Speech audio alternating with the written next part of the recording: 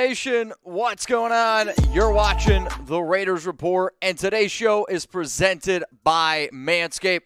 Hopefully, everyone out there is having an awesome day, and if you guys got a set of nuts on you, spam balls, because Manscaped is hooking you guys up 20% off and free shipping on the best male grooming products out there. All you got to do is use code Raiders at checkout. That way you're set up and ready to go for 4th of July. You know, in case you want to see a big bang or two. All right, y'all, so shout out. I want you to name a player on the Raiders that you would trade right now because coming up here on today's show, we're going to be talking a little bit around certain trade rumors that I've been hearing, and I got a gut feeling that majority of the votes that come in right now for this question are going to be majorly is that a word? I don't know. Around one player in particular. So if you could name one guy right now on the Raiders that you would trade. I'm going to go give you guys some shout outs. And then coming up here on today's show, we're going to talk about rumors. We're going to do a mailbag. I got 10 surprise cut candidates from Paul Gutierrez's 53 man roster projection video. And then we will wrap the show up with another mailbag. So let's go. Let's get some trades going. We got Phil says Jonathan Abram. Jack Hossey says Trayvon Mullen. Juan Hernandez, Clelin Ferrell. David's going to go with Jonathan Abram. Cleve from Patrick B. What up, Patrick B? Ferrell and Abram from Chase. Brandon Parker from, I don't know if this is a new name or not, but I was laughing at it before the show started. Vladimir Suck Me Off. Yeah, all right, Vladimir, suck me off. You send me in a 90s, 90, $69 super chat. Let's see what happens. I'm ready to get this thing going. We got Lil Z is going to go Jonathan Abram. We got Drake from Dixo Solid Dixon. Drake again from Clash with Zeus. All Zane's going to say Kenyon Drake. Clelin Ferrell from MMB. Right now, majority of the votes, I would say, are between Jonathan Abram, Clelin Ferrell, Kenyon Drake. I see a few Josh Jacobs is sprinkled in there as well. I don't think Jacobs gets dealt. And then Trayvon Mullen. Well, how about this? On the Raiders report, I am going to talk to you guys about Clelin Ferrell today. I'm going to give you a trade idea that I've thought about. But how about this? You can answer right now in the live section. And this is the part of the show that I like to call the audience build up. The real news and rumors, they don't start until 6 p.m. Eastern Time, 3 p.m. Pacific. But this is what is known as the build up. I'm letting the audience get up in here and. Yes, I see the super chat from David. I will get to it here in just a second. But type T for trade, P for pass. Would you trade Clelin Ferrell for a six round pick? And if you haven't already, go vote on the very, very top of the show where I asked, and right now 52% of those votes that have come in said no, they wouldn't trade Clelin Ferrell for a six round pick. D for trade, P for pass. Juan Hernandez. Gonna go with a trade. Jack pass. Chevy pass. Paul Gaines pass. Joker Johnson says pass. Allie says trade him. Raider Nation Trish trade. Juan says P again. King Higgins says pass. I want a fifth round pick for him. All right. That, that's fair enough. I'll talk to you what I'm thinking here in a little bit. David Taken always sending in a super chats. David, I appreciate you, my dog. I would trade Clelin Ferrell and a first round pick for Micah Parsons. Wishful thinking. Unfortunately, I don't think the Cowboys do it. To me, Micah was one of these players where I told y'all if they use him more as an edge rusher, he's going to be a good player. Defensive rookie of the year last year. There's some people that think he could win defensive player of the year out of all the players in the NFL. So I would do this trade personally, but there's no way that the Cowboys end up doing it. So no, not going to happen. All right, y'all. Totally random question. And the reason why I'm bringing this up is because over the weekend, I was talking to my girlfriend's dad, and we were talking about old video games as a kid. He's like, ah, man, I played Snake, I played Pong and it made me think what like what was your favorite video game to play as a kid? And i'm sure there's going to be some people right now being like man we didn't have video games when i was a kid. Or i'm sure there's going to be some kid it's like ah, i played minecraft or what's the most popular video game right now? I don't know. I don't play video games as it stands now. Fortnite. Is Fort, fortnite's popular right? For me as a kid for me it was either mario kart on my n64 and then when I was in like middle school, I would say I played a lot of Halo. Halo was my jam. And I would challenge almost anybody to Halo and N64 Mario Kart. I can't play the Wii Mario Kart, N64. That's where it's at. Freddie says Madden and Tony Hawk. I played Tony Hawk a little bit. Def Jam from Vladimir again. Madden all day from MMB. Nintendo from Daniel Keenan. Pac Man from David. NFL Blitz from Lil Ron. Mario Brothers from Machiavelli. We got Anthony Hernandez says Star Wars Battlefront 2. I hate to break it to you guys, which I feel like now the Raiders Stadium, you know, the Death Star, and a lot of Raider fans dress up as Star Wars characters. I feel like I got to watch Star Wars. I know, I'm a shitty person. I've never seen it before. Let's go to LI Raider 312. What about holding Ferrell and Abram this year and see what happens in a new system?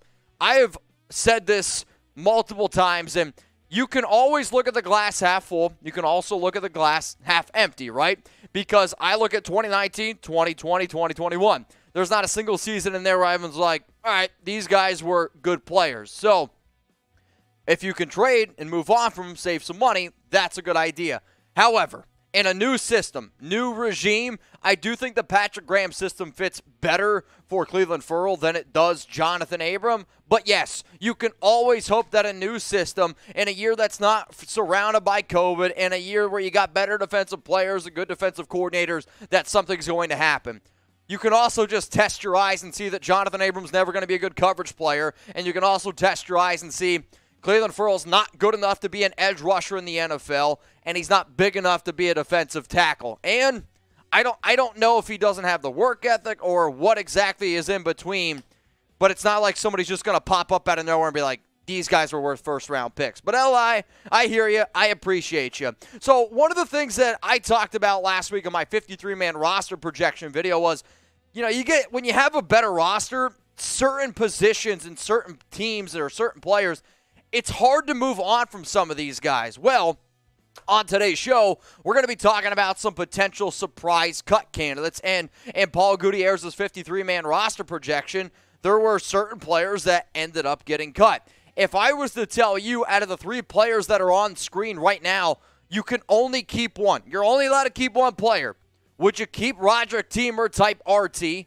Dallin Leavitt DL or Meek Robertson AR. If you watched my video, I ended up keeping Robertson. However, I can make a legitimate argument for Teamer. I can make a legitimate argument for Leavitt because Teamer's a good safety.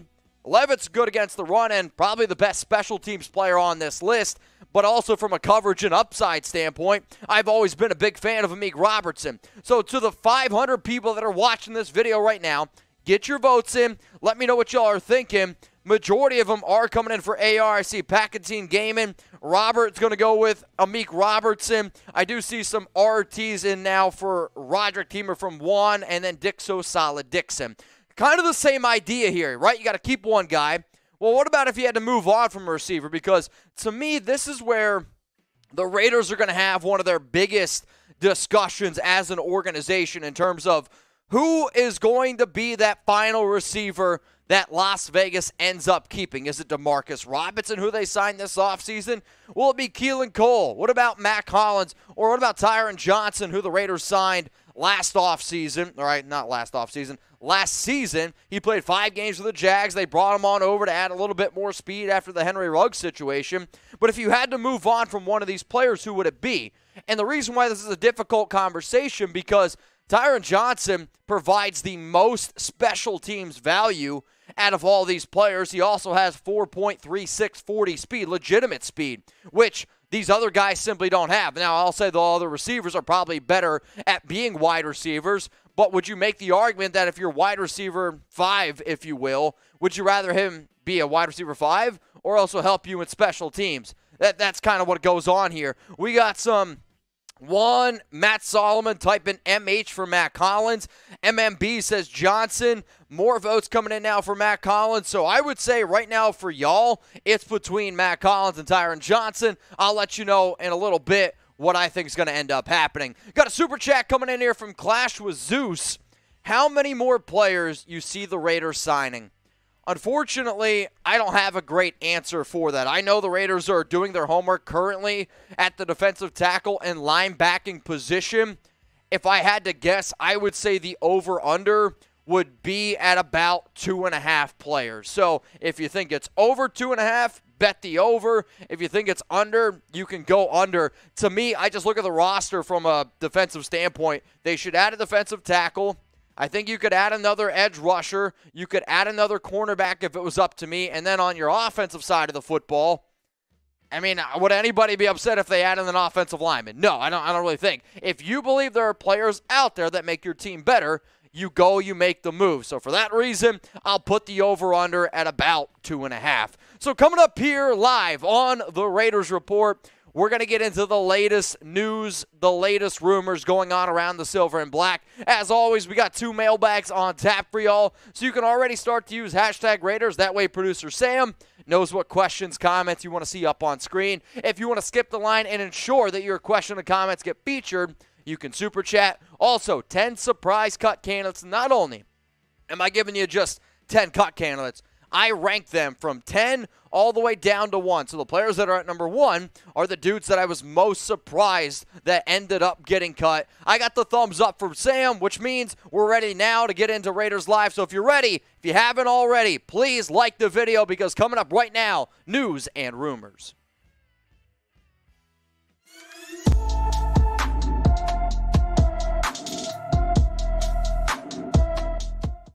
Raider Nation, what's going on? You're watching the Raiders Report, and I got a three pack of rumors that I'm ready to crack open with the entire nation today. And the first story that we're going to talk about here is around Clelin Ferrell. Don't worry, we'll talk about Derek Carr here in a second, and then we'll also talk about Tyron Johnson as well. In terms of are the Raiders trying to trade Clelin Ferrell right now? I talked to a source yesterday, and I'm going to give this one four just win babies because Believe it, baby. The Raiders are currently shopping Clelin Ferrell, and they are also listening to offers. Let me make this point very, very clear. This does not mean a trade will happen. Why? Because you have to have two sides that agree to a trade.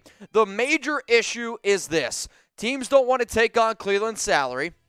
The Raiders also believe that if it wasn't for his salary, he wouldn't be good enough to make the 53 man roster. I will say this, though. I'm a big believer Patrick Graham's system could be good for Clelin Ferrell. When you really go back and you look at a lot of the things that have stacked up against Clee, this is actually probably the best defensive scheme that he could be in that fits his necessities. Now, in terms of a trade, in terms of the whole contract situation going on around the Raiders' fourth overall pick back in the 2019 draft, if he's cut, the reason why his contract's so difficult is because usually when you draft somebody number four overall, you don't plan on him being as bad as what he's been. And considering the fact that Clelin Ferrell at number four overall has zero, let me say this again, zero career starts. It's not great. It's one of the reasons why they declined his fifth year option. If traded, the Raiders would save 4.77 million this upcoming season. Sure, you would have to eat 5.21 million, but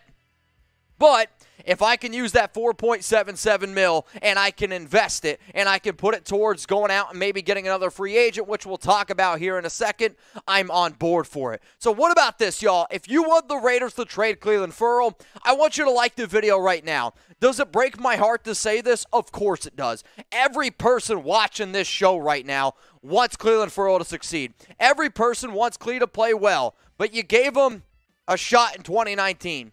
You gave him a shot in 2020. You gave him a shot in 2021. I know this isn't baseball, but it's also three strikes. You're out. It has not been successful. So if you want the Raiders to trade Clelin Ferrell, like the video. In terms of a career, in 2021, only 14 tackles, one and a half sacks, one tackle for a loss.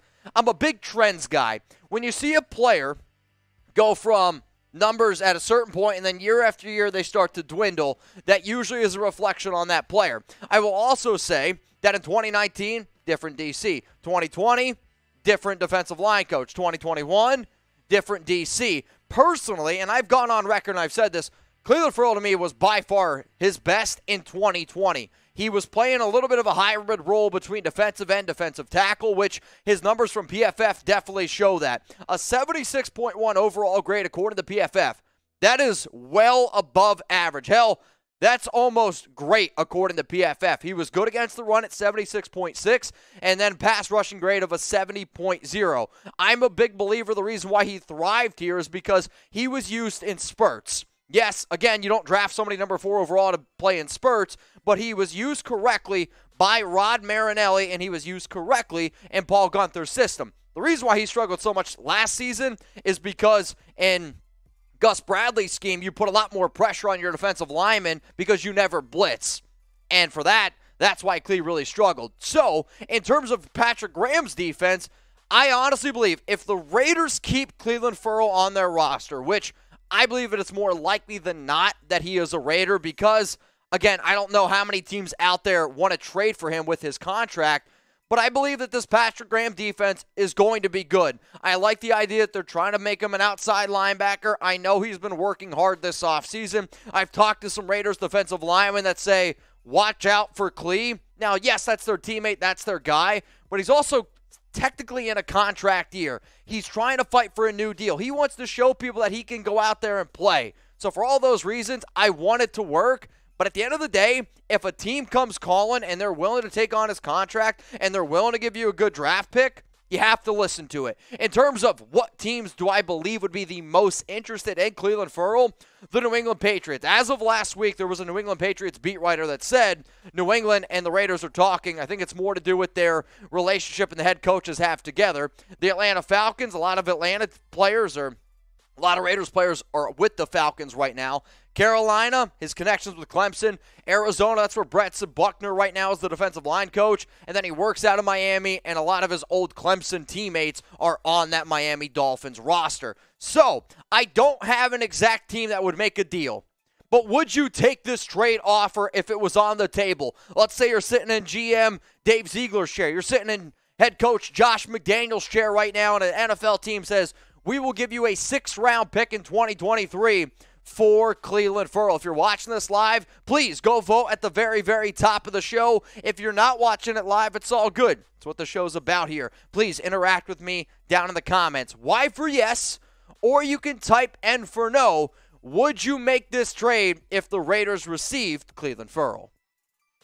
I'm going to say yes, I would accept the trade if and this is the if, if you invest that 4.77 mil in going out and getting a defensive end. Do I think Ferrell's worth more than a six round pick? Yes, I do. The issue is the contract. So you have to understand if an NFL team is going to take on the deal, they're going to also not give you as much in return as a trade. If you're like, I don't want a six round pick, I'd rather keep Klee. Well, fingers crossed, glass half full that it ends up working out. But if I can take that 4.77 mil and sign a defensive end because I'm telling y'all right now, I believe every single player that you're about to see on screen right now, all eight of these guys, you could get for less than 4.77 mil. I would take Trey Flowers. Give me Justin Houston. Carlos Dunlap last season, shit, he had eight and a half sacks. Jason Pierre-Paul's been a proven player.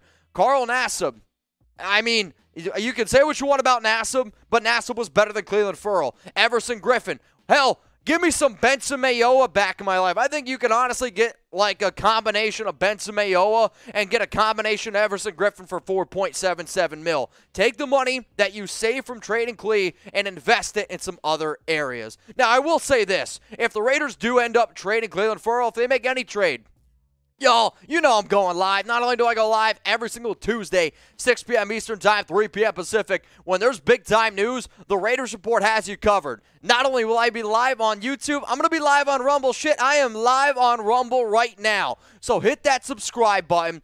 Turn on those notifications. And if you want to watch this show ad free and listen to it like a podcast, that's what Rumble is all about. So, rumble.com slash Raiders Report, youtube.com slash Raiders Report. You know where to find me. Make sure you subscribe. That way you never miss any Raiders news. Let's go to the next story here on the Raiders Report. Derek Carr, does he feel disrespected? I know, strong words, but it's for just win, babies. Believe it, babies. So, why is DC, the quarterback of the Raiders, Man, why is he feeling disrespected? Well, DC met with the media to discuss his participation in a celebrity golf tournament on Monday. And I listened to the interview, and it sounded like Carr, and he was speaking for the team. And you know what? That's what your quarterback does. I'm all good with it. But he literally said that him and the team are carrying a chip on its shoulder. And why are they carrying a chip? Well, he was obviously asked, you know, about the Raiders this season. He was asked about the AFC West going forward. And the fact that the Raiders are predicted to finish last in the AFC West, and the fact that nobody's talking about the Raiders. And he feels like with all the additions that this team has made, people are still talking about the Chiefs, the Chargers, the Broncos. And when you look at the AFC West odds according to Vegas, Chiefs at plus 175, Chargers, Broncos 225, 250. And then in terms of odds, when all the odds are this close and there's one team at plus 700, you're right.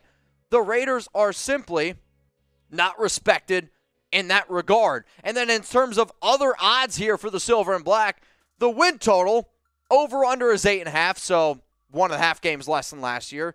Make the playoffs at plus 190. That means the odds are against them to make the playoffs. Win the AFC West, as we just mentioned. Win the AFC at plus 2,000. Win the Super Bowl at plus 4,000. Hell, there are 17 other teams in the NFL. 17. 1 7 that have a better chance, according to Vegas, at winning the Super Bowl than the Raiders. Now, that doesn't mean that they believe that they're the 17th best team, because what goes into account is the division, the schedule.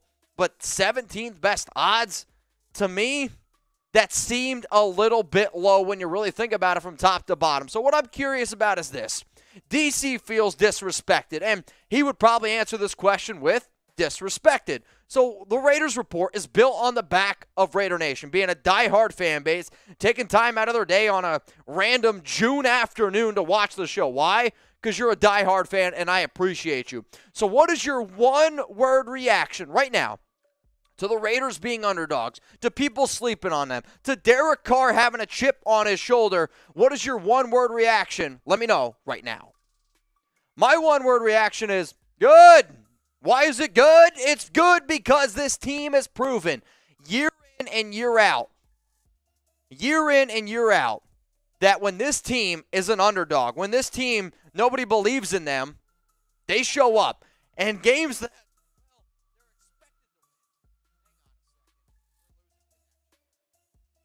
in games that they are expected to win, the Raiders, for whatever they end up struggling. And it's a very frustrating thing. There's no doubt about it.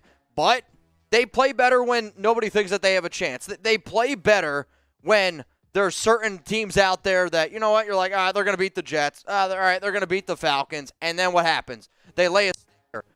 Okay with the idea that the Raiders believe the chip on their shoulder they believe that they are an underdog. I'm okay with it. And in fact, I like it. Let's go to the next story here on the Raiders Report. And are the Raiders going to end up cutting Tyron Johnson? This one, it's three just win babies, and I believe that it's pretty likely. And for all the new watchers out there, like, what the heck are these just win babies? It's a rumor scale, me telling you how likely and not likely I believe something is. So, in terms of cutting Tyron Johnson, I didn't have him making my 53 man roster projection. On top of that, I have looked to see what other, we'll call them Raiders content creators, have done and have discussed in terms of making content, and Tyron Johnson often not ends up not making the team. When you look at all the moves that the silver and black made this offseason, they added a lot of extra talent at the wide receiver position. Nobody's going to disagree with that. Now, the one thing that Johnson has that maybe certain dudes like Demarcus Robinson, Keelan Cole, Mack Hollins do not have the legit speed, the legit 4.36 speed, and we know that he's a very good special teams player from top to bottom. When you look at the Raiders' wide receiver depth chart, I can tell you this right now. The Raiders are going to keep Davante Adams. I know, breaking news. Hunter Renfrow, going to end up making the team. I have Demarcus Robinson. I have Keelan Cole. I have Mack Hollins making it, which ends up being that Tyron is off the list. But let's just say it comes down to these four final players here, and you can cut one wide receiver. Whoever you end up cutting doesn't make the team. Do you cut Marcus Robinson? Do you cut Keelan Cole, Mack Hollins, Tyron Johnson? Type DR for Demarcus Robinson, MH for Mack Hollins, KC for Keelan Cole, or TJ for Tyron Johnson. It's Tyron Johnson for me. If the Raiders decide to keep six and you want to have somebody extra for special teams, I get it. I have also said on this show that having Hunter Renfrow back there as a punt returner, as a kick returner, not that he's not good at it, but I don't really want him back there because your chances of injury do go up significantly. So you move on from Johnson, who really did not play at all last season. Sure, in 2020, had 20 grabs, 398 yards, three touchdowns. He did this with the Los Angeles Chargers, and he was realistically brought on over because of the whole Henry Ruggs situation. They wanted to have somebody who could be a deep threat. But the numbers that you see right now on screen from 2021, those two catches, 16 yards, they were in his five games with Jacksonville. In the five games that he played with the Raiders, yes, he was on the field for special teams, but if he wasn't used last year, and a, and a year that was filled with a whole bunch of drama, and a, and a year that I get that Zay Jones stepped up, but when you look at the Raiders' options last season, Darren Waller's also hurt. And then you look at the options Raiders have this season.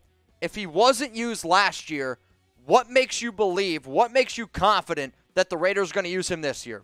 For that reason, it's three just win babies that I believe he's going to end up getting cut. Now, if you guys haven't already given me a follow on IG or on Twitter, please make sure you do so. If you want to tag me in something like a video, I love when people watch the Raiders report. I don't know what crazy game is on my Instagram story now, but somebody's playing, it looks like dominoes with their I don't know, mom, grandmother, aunts, uncles. I'm not sure who it is, but I love seeing that kind of stuff. If you want me to share your stories on my Instagram, all I'll ask you to do is tag me at Mitchell Renz 365.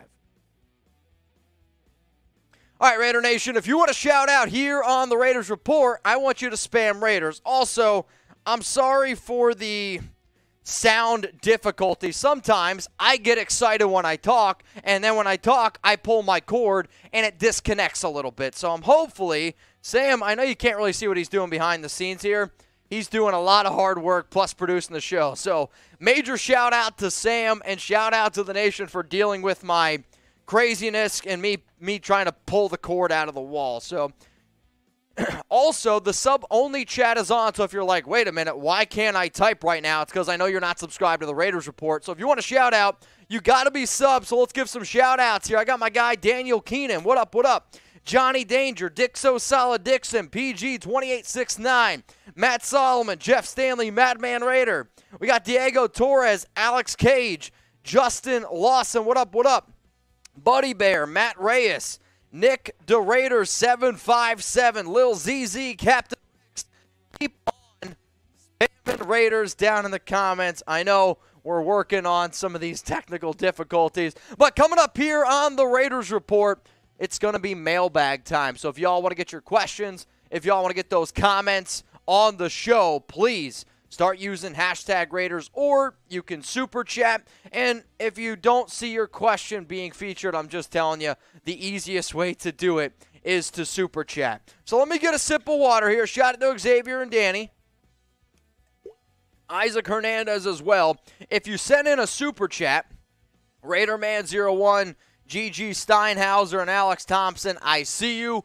We will answer those super chats on the mailbag that is about to happen. Also, I'm looking at the top poll right now. Would you trade Clelin Ferrell for a sixth round pick? We got 700 people watching, 647 votes, and 43% of you say yes. 57% of you say no. So if you haven't voted on that, please, please, please make sure that you do that for me. I would greatly appreciate it. It is going to be mailbag time right now. So again, hashtag Raiders, or super chat. Get those questions, get those comments on the show right now.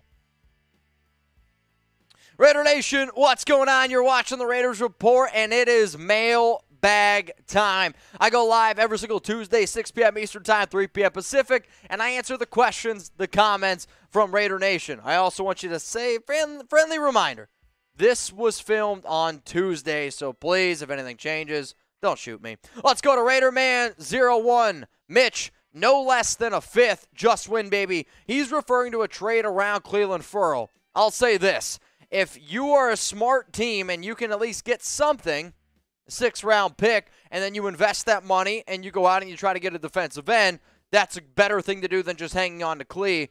I obviously want more than a six rounder for Clelin Ferrell. I would love a fifth rounder, but not many teams want to pay Clelin Ferrell 4.77 mil. That's just something you got to think about. Let's go to G Jay Steinhauser. Six rounder. I'd trade Clelin Ferrell for a six pack of beer. well, you, did, you definitely got different stances here. It depends. What kind of beer? Uh, Modelo? Dos Equis? Are we getting craft beer? Let me know. What type of six pack would you trade it for? Let's go to Alex Thompson. Can't believe I didn't hear anyone pick Contra or Mike Tyson's punch out. We can build Ferrell into a good run stopper. I'm going to be honest, I don't really understand the first part of this, but if you believe that Ferrell can be a good run stopper, I would say watch the film from last season. It was rough. Now, you got a good mix between 2020, which I actually think he did a halfway decent job against the run, and then you got 2021 where he was historically bad.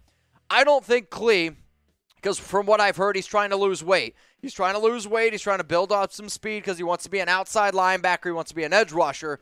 So he's already a small defensive tackle, and if he's already even losing more weight, I would say him being a good run stopper is more than likely not going to happen. What up, Ray Jr. Easy Ray? You're next up here on the Raiders Report. Should the Raiders be interested in signing Carlos Dunlap?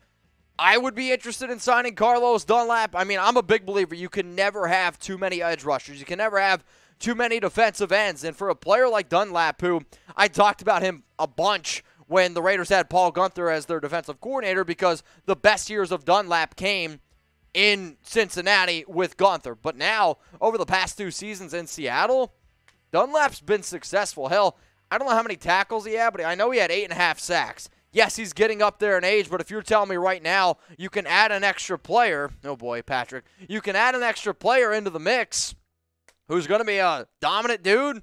Why the hell not? Super chat time coming in from Patrick B. We are Raiders, underdog. When this happens, we do great things. DC4 is my quarterback one. Can't wait for the season to start. If y'all are also excited for the season to start, like this video right now. But yes, I'm agreeing with you. Underdogs, and if you keep sending in 50s, we'll keep on ripping some fireball.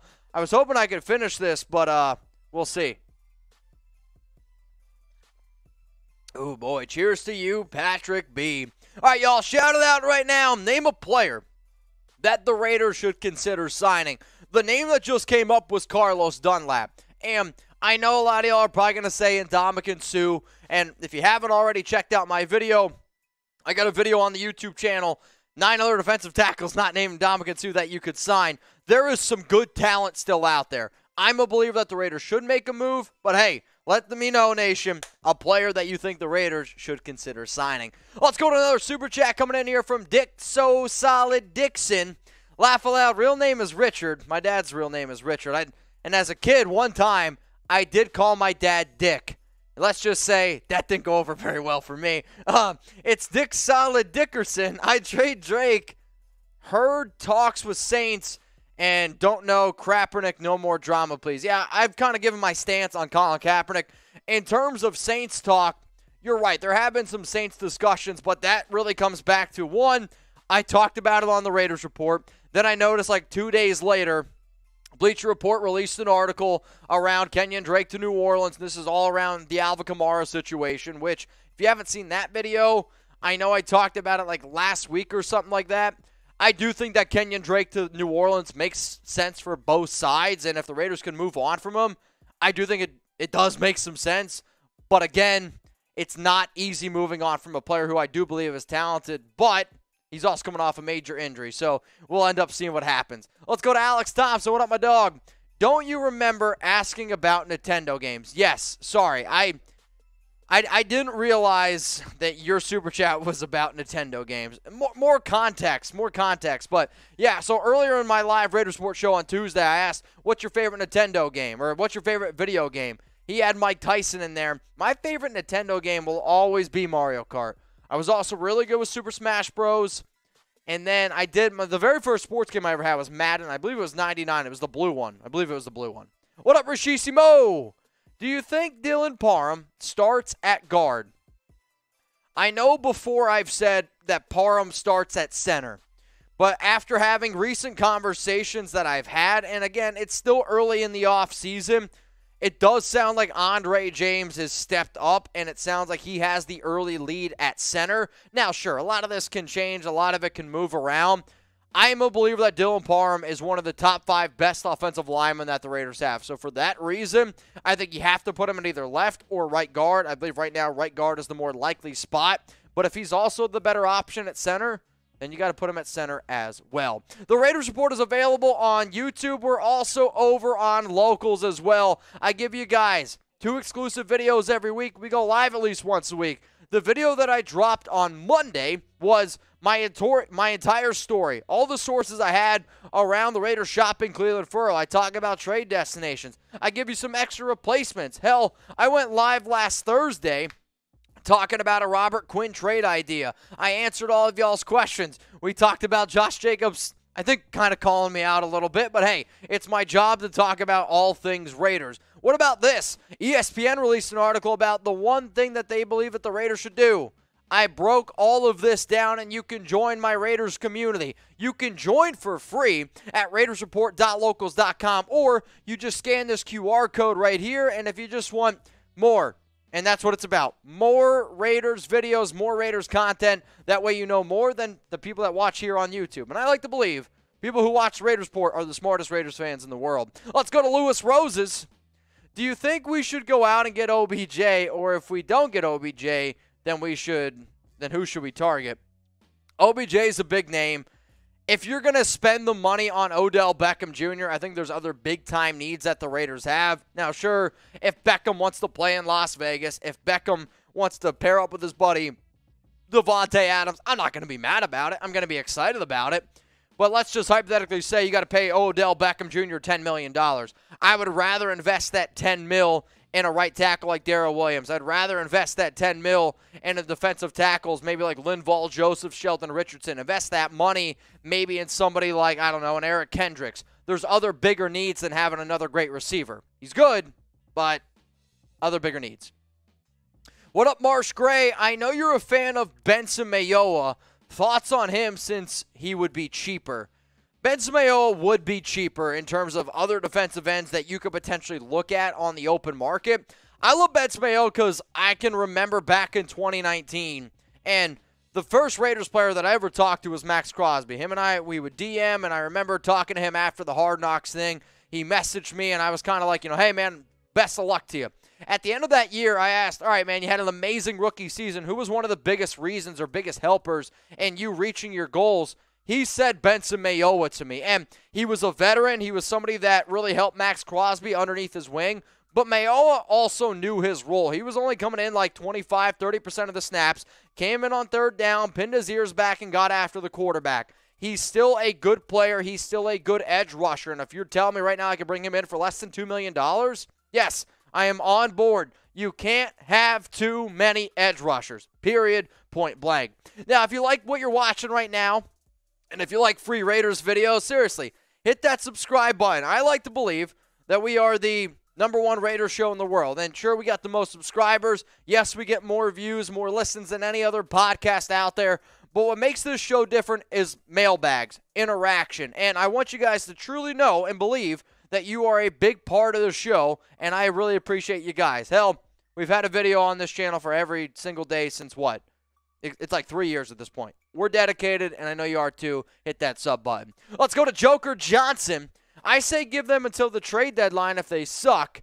See if a trade, uh, see if a trade will want them, but if they play better. So here's the thing: the NFL trade deadline, I believe, is like November 1st. It's like 4 p.m. Eastern time. If the Raiders are playing well, then I don't really see why you move on from guys like Jonathan Abram, why you trade somebody like Clelin Ferrell. If the Raiders are sucking, then yes, you could potentially look to move on. But if the Raiders aren't playing well, then I don't know if those players would be playing well either. Let's go to Daniel Caps Keenan. As a Raiders and Mets fan, Trey Jacobs, he was wearing a Yankees jersey. Raiders! Also, we hit $100 in Super Chats. Every time we hit 100, shot a fireball during the offseason. Yes, he was wearing a Yankees jersey, which, believe me, it broke my heart as well. But I can also understand being a being an NFL player in town for the NBA draft. You're going to take tours. You're going to do this and that. And if you don't have a real affiliation to any team out there, you'll throw on a jersey, right? Especially if they give you a free tour and give you access that not normal people get. So I get it. Believe me, I wasn't happy about it either. What up, Joe Burns? What's burning on you, Joe? Should the Raiders be more concerned with extending Waller? than trying to sign an old cornerback. Yes. And this Raiders organization, I, I'm pretty sure I said this last week on the Raiders Report. From what I've been told, priority A, extending Darren Waller. Priority B, extending Denzel Perryman. Priority C, D, E, F, G, whatever the hell the rest of the alphabet is, is going out and getting other players. Derek Carr has said it that they want to make sure that people on this team know that they're going to be a part of this team for the long haul and for, you know, going forward. So, yes, the bigger concern is extending Darren Waller. Here's my next question, totally random. Do you like podcasts? Type L for like or type D for dislike. The reason why I'm asking if you like podcasts or not, it's because you can listen to the Raiders Report like a podcast over on Rumble. I know a lot of people are always like, are you available as a podcast? The answer is technically yes. The issue when you watch a show on YouTube, if you minimize it, the show stops. It's just the way YouTube works. However, on Rumble, if you watch on Rumble, you don't watch with any ads, so there's no interruptions. And on top of that, you can minimize the screen, keep on doing what you're doing, and the show plays in the background. We cover everything that you see here on the Raiders Report. We do even more over on Rumble. Sometimes I release videos on Rumble earlier. So give us a follow, subscribe, rumble.com slash Raiders Report. Well, let's go to Raider Man 01. Mitch, I just got my Adam 17 home jersey. Just win, baby. I don't know if that was a part of the that I ended up doing earlier uh, in the offseason, but I am still waiting on my Davante Adams jersey because I was told that I would get mine in June, and well, there's only a few days left in June, so I am really, really hoping that my Adams jersey comes in. But if you guys ended up getting a Davante Adams jersey, all I ask is this: take some pictures of it, post it on IG, post it on Twitter if you could tag me at Mitchell Renz 365, I'll share them because I'm excited to see some Davante Adams jerseys this year. What up, Corey? Mitch, I think your source may have been wrong. Too many rumors that we're not mutually interested in Suh. So that's what Josina said, and I also saw Vincent Bonsignore say that. Here's the thing. I actually don't think Josina at this point really has any credible sources. I also don't think Vincent Bonsignore is a credible source. Um, I'm going to stick to my people. I'm going to stick to the people who I've talked to that have led me in the right direction and have got me this far in my career. I will say, if you're talking about Vinny, Vinny's also the guy that a, a week he said the Raiders aren't going to add any more people. And like three or four days later, he's like, Raiders are considering adding guys. What you have to watch out for is people throw a whole bunch of stuff at the wall, see what sticks, and then they delete their old stuff. So I'm going to stick with my guys. What up, Madman Raider? Hopefully you're doing well, man. Uh, when will Jonathan Hankins be ready to play? Rumors say we aren't interested in Suh. Again, I'm going to go based off of people who I talk to, and we are interested in Suh. I asked actually Jonathan, I, I messaged him yesterday, so on Monday, how you feeling? What's happening? He didn't really give me much of an update, so he said that he's going to listen to the trainers and get back to me, but – well, last time I talked to him, he said that his body is feeling great. He feels like he's got a brand new body from top to bottom, but uh, you still are hoping, especially a guy that big, is going to be healthy because the Raiders' defensive tackle room is pretty scarce right now. What up, Michael? Uh, we need to sign the players that we're interested in, or we will miss out. Who do we want? Money goes up. So, yes, you should target those, but again, there are so many Raiders or so many good free agents still out there and I'm a believer that McDaniels and Ziegler are going to do exactly what they did in free agency. Everyone was hitting the panic button. You remember during free agency, why aren't the Raiders doing anything? The Raiders aren't doing this. Raiders aren't doing that. The Raiders were doing their homework. They were working hard behind the scenes. They don't want to overpay anyone. Do the Raiders have a lot of money right now in salary cap? Yes. But because of all the, we'll call them failed contracts, because of all the void years, because of all these extra deals that the Raiders have had to make over the past two seasons – when you go look at how much money the Raiders are projected to have in 2023, 2024, and 2025 is going to be an interesting year. But over the next two seasons, the Raiders actually will not have that much salary cap space. So I've also been told that it wouldn't surprise me if the Raiders don't make any moves this season, save up some of that cap space. That way they can still wheel and deal over the next two seasons. What up, Vincenzo? Should the Raiders sign Jason Pierre Paul? I'm never. I don't ever think it's a bad thing to do your homework. I also don't think it's ever a bad thing to pick up the phone, give certain players calls, and say, hey, How much money are you looking to do? Hey, could you potentially convince Ndamukong Suh to come on over with you at a cheaper deal? Do I think JPP could help out the end, the defensive end room? Yes. Do I think he'd fit well in a 3-4 system? Yes, I do. However, there are other better options available. So if you're interested in JPP, I would say why not pick up the phone and call some other defensive ends, right? I mean, that makes sense. Now, we get a lot of questions. We got a lot of people watching right now. 731 people watching the Raiders report right now. If I missed your question, if I missed your comment, please don't be afraid to a- ask me on Instagram at Mitchell Renz 365. Hang on, I need some water.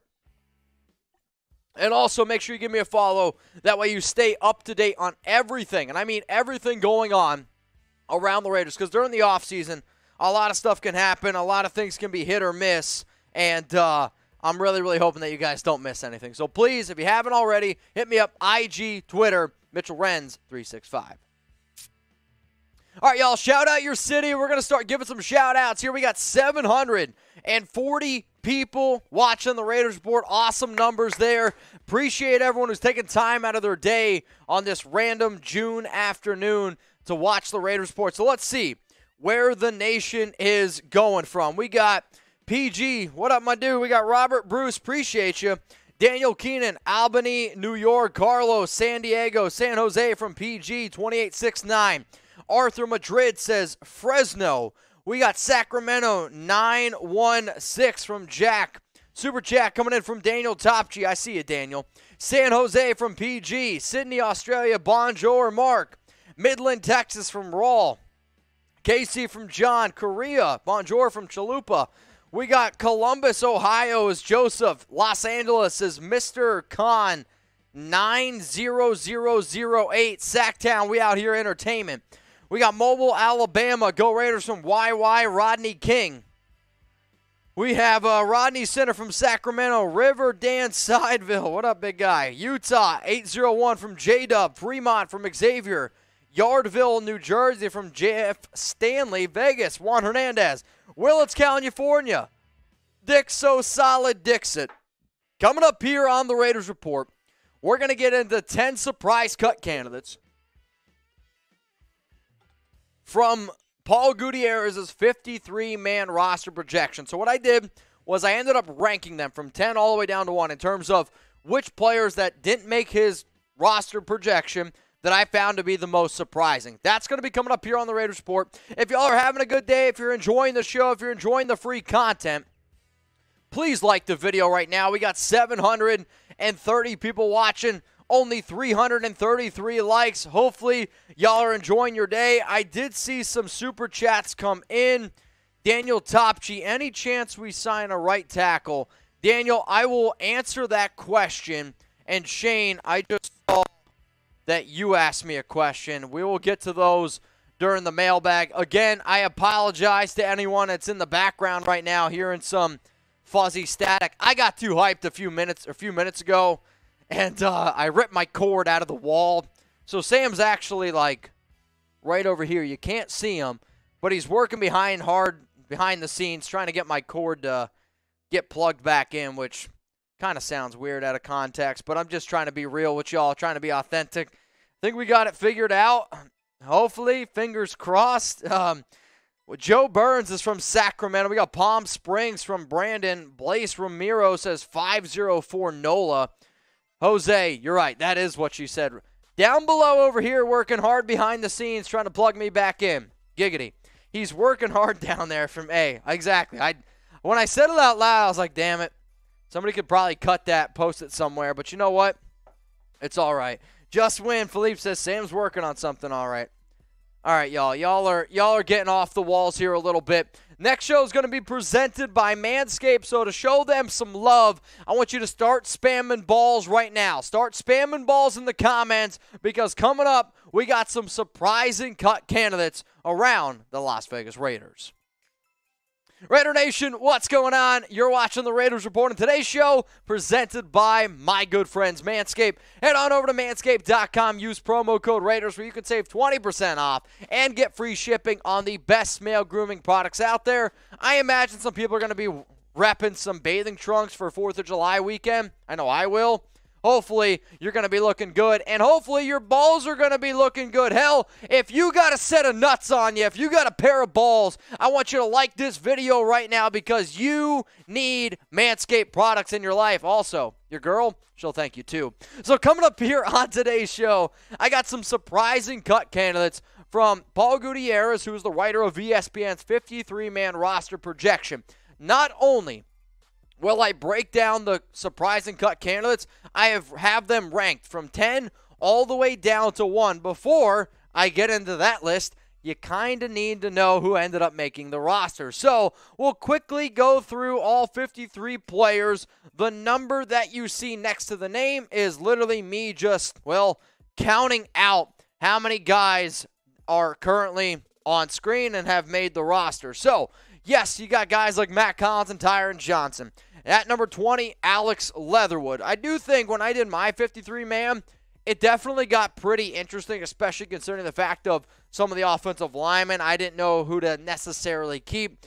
Defense was really difficult. Now, Gutierrez ends up keeping six linebackers, which was a little bit too rich for my blood, which, again, we will talk about a few of those names. Also, some of the dudes in the secondary, whether it was Anthony Averett, Nate Hobbs, all these guys I liked quite a bit. Trevon Moehrig, Jonathan Abram no real surprises there. And then to wrap up the list, your final five with Duron Harmon, Tyree Gillespie, A.J. Cole, Daniel Carlson, and Trent Sieg. So how about this? Okay, after seeing all 53 of those players and who ended up making Gutierrez's list, which player were you most shocked didn't make ESPN's roster? Like, out of all the names, who would you have number one on your list? Because coming up here, I am going to be ranking the top 10 most surprising cuts that didn't make ESPN's 53 man roster projection. We're going to go from 10, work our way all the way down to 1.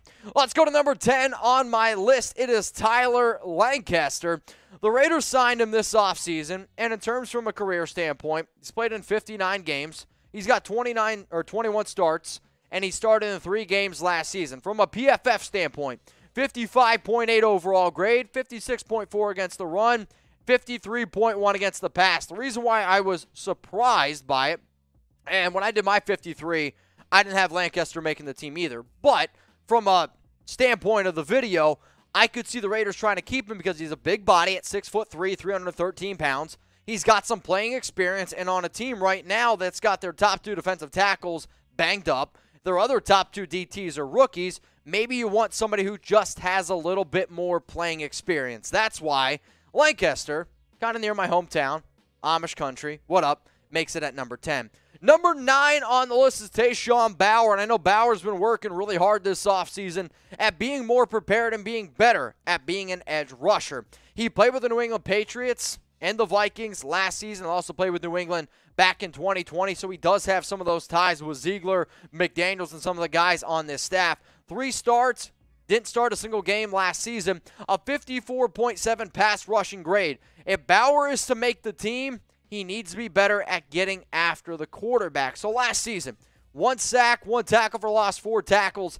The only way I believe Bower ends up making the team is if they keep five defensive ends, maybe it's Bower, Klee. You throw in Malcolm Koonce, obviously Chandler Jones and Maxx Crosby.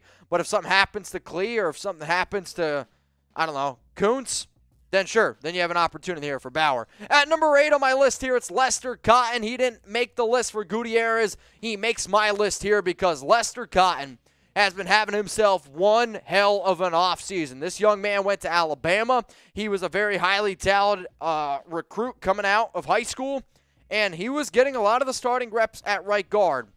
And I believe the or left guard or no, right guard. And the biggest reason behind that is because you got a lot of injuries to Denzelle Good. He was a big time mini camp winner from what I was told. And from an entire career standpoint, he's got 11 snaps played. Now, technically, six of those are special teams, like lining up for an extra point or for a field goal. And then the other five are on the offensive side. Last season, his five snaps that he played were at the left guard position. I do think Lester has a legit shot.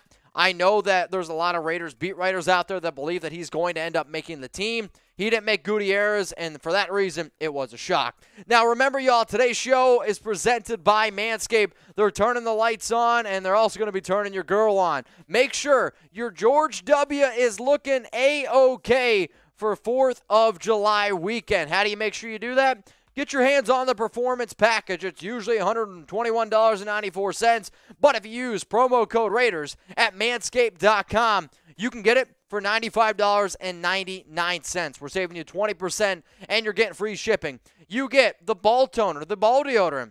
If your balls smell good, believe it or not, that shit helps out a lot. You're going to get the most comfortable boxers in the world. The weed whacker, which gets all rid of all those annoying little nose hairs. The Lawnmower 4.0, the best way to make sure that your body is fully manscaped. It's manscaped.com. That link's going to be available for y'all in the comments and in the description of today's video. At number seven on my list, Jesper Horsted. And Horsted was signed this offseason, brought in to be a backup depth piece here at tight end.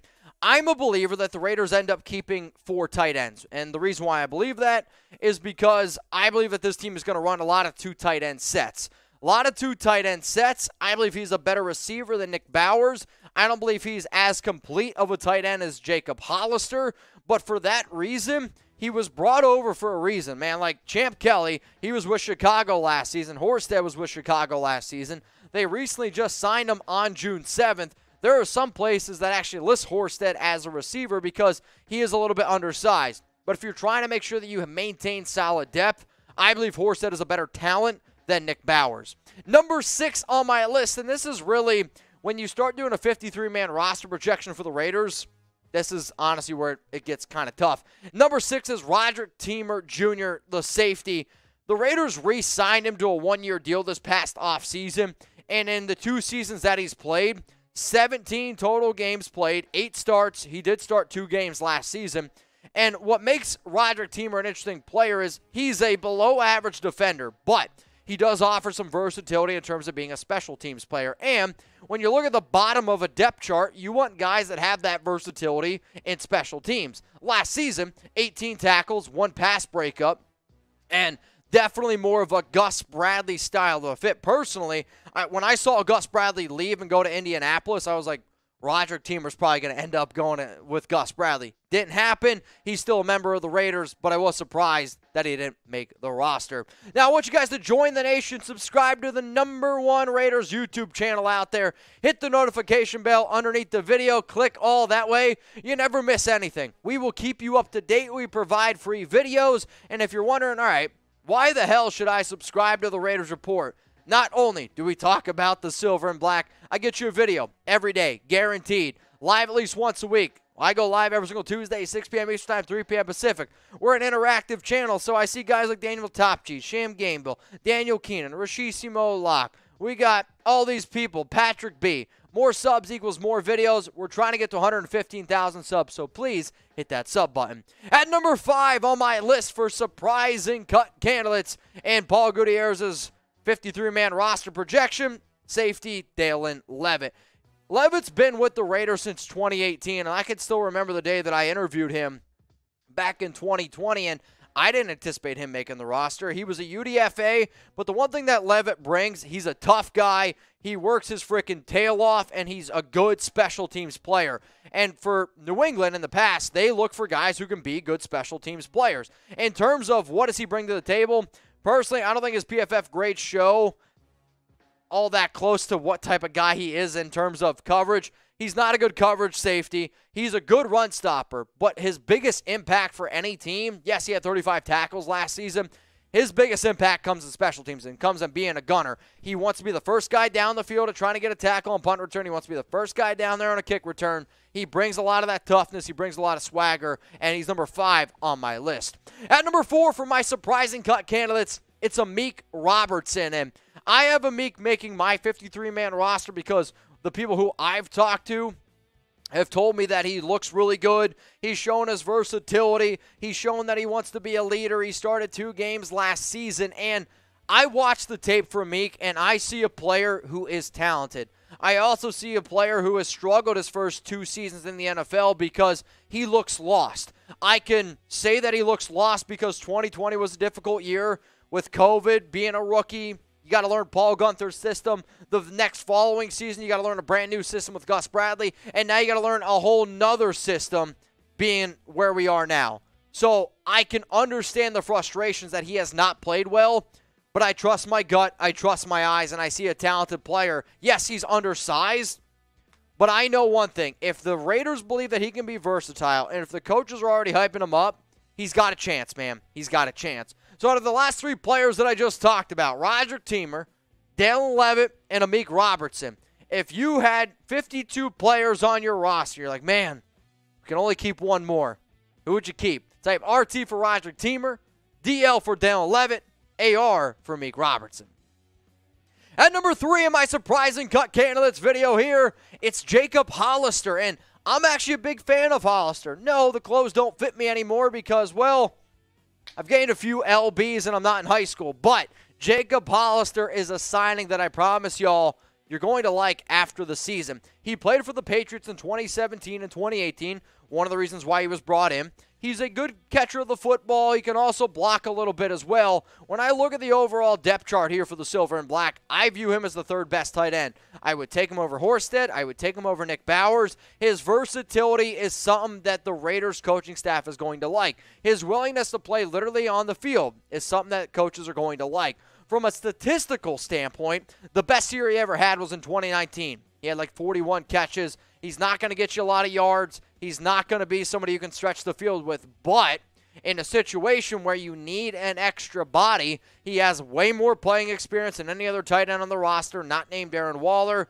Hell, he's got more playing experience than Foss Moreau. Not nearly the talent, but he was somebody that made my list. At number two, I'm going to go Nick Mullens. I was surprised that Gutierrez only ended up keeping two quarterbacks. He kept Jarrett Stidham. He ended up keeping Derek Carr, obviously. I see this Raiders organization keeping three quarterbacks. And because you can never be too safe, I was literally told by a Raiders player that Nick Mullens is clearly better than Jarrett Stidham. However, Jarrett Stidham, the Raiders traded for. Jarrett Stidham, I've also been told, looks better and knows the offense in terms of what you need to do off the field, doing certain schemes. But if it's just a talent standpoint, a talent standpoint alone, you keep Nick Mullens. You keep Nick Mullens as your backup to Derek Carr on Sundays, God forbid, if something happens to DC. And then for practice squad quarterback, you keep Jarrett Stidham. Jarrett Stidham can be your practice quarterback, or you do just keep him on the sidelines. You help him learn the extra offensive plays. Like, all I'm looking at is talent alone, and Mullens is the better guy. Yes, his numbers from last season were in the game up against the Raiders. I believe it was what, week 15, week 16 when the Browns lost their top two quarterbacks. I've seen Mullens play. I've also seen him torch the Raiders in that one game, which I do not like to bring up, but I'm going to go with Nick Mullens. Number one on my list, the most surprising player that did not make Paul Gutierrez's list was it's Keelan Cole. And it shouldn't surprise too many of you. I got a I was going to say a hard on, which I guess I can say if Manscaped's the sponsor. I got a hard on for Keelan Cole. I think he's going to be a good player for the silver and black. The Raiders, they went out, they signed Cole. A few days later, they moved on from Bryan Edwards. And the day that they signed Cole, I was like, oh man, Edwards is in trouble. Hell, I made a video about it on locals. Cole is a smart route runner. He's a good player. He's going to find the open hole, and I actually see him as being the third best wide receiver on the roster behind Davante Adams, behind Hunter Renfrow. And I guess I say the third best receiver for Derek Carr because – Demarcus Robinson's a better athlete. Mack Hollins is a better athlete. But I have seen time and time again if you can be a good route runner and you're a route technician, Derek is going to look for you a lot more often. It was a great example last season with Zay Jones. I think everyone watching would say DeSean Jackson's probably a better athlete than Zay Jones. But Zay was better at finding the open holes. Zay was a better route technician. Therefore, Carr and that offense relied on him. It's the exact same thing for Josh McDaniels. They want good route runners. They want players who show up and work their ass off. That's what you're going to get out of Keelan Cole, and I'd be willing to bet that he's going to make that Raiders roster. So here one more time, y'all, are the surprising cut candidates ranked 1 through 10 in terms of the most surprising guys that did not make ESPN Paul Gutierrez's 53 man roster. If you made it this far in the video and you want to take a screenshot, post it on Twitter, post it on IG, always remember that you can tag me, you can tag Chat Sports. All right, y'all, so what'd you think about this video? I know it was a little bit different from past videos that I have done. I want you to grade it. Be honest with me. I mean, that's the only way I can get better as a host, and it's the only way that I can assure that I'm providing the content that Raider Nation likes. So, A, B, C, D, or F, please be honest, grade the video. All right, y'all, we got one more mailbag, and then I'm going to wrap up this live show. So if you haven't already, use hashtag Raiders or you can super chat. If you super chat, you guarantee yourself a spot on the show. So Daniel Topchi, Shane Gamble, Brandon Jasper, I see you. I will get you a show or get you a shout out here. We got Jack Kennan says A. Vituro says B plus. Andre Martinez, he didn't like it at all. He gave me an F. Stuffed Protectors gave it a D. PG 2869A. Nick the Raider says A. Juan's going to go with a B. Thrash Metal says B. Joseph A. Richard, my dad B plus. All right. Uh, Rustin Long's going to go with a B. PG says A. Terrence Minor B. We got Warren Sapp said he heard the workout was worse. Watch my video from yesterday. I talked about it. B, you barely did any drinking from Aaron Lopez. I mean, if you guys want me to drink now, we can drink.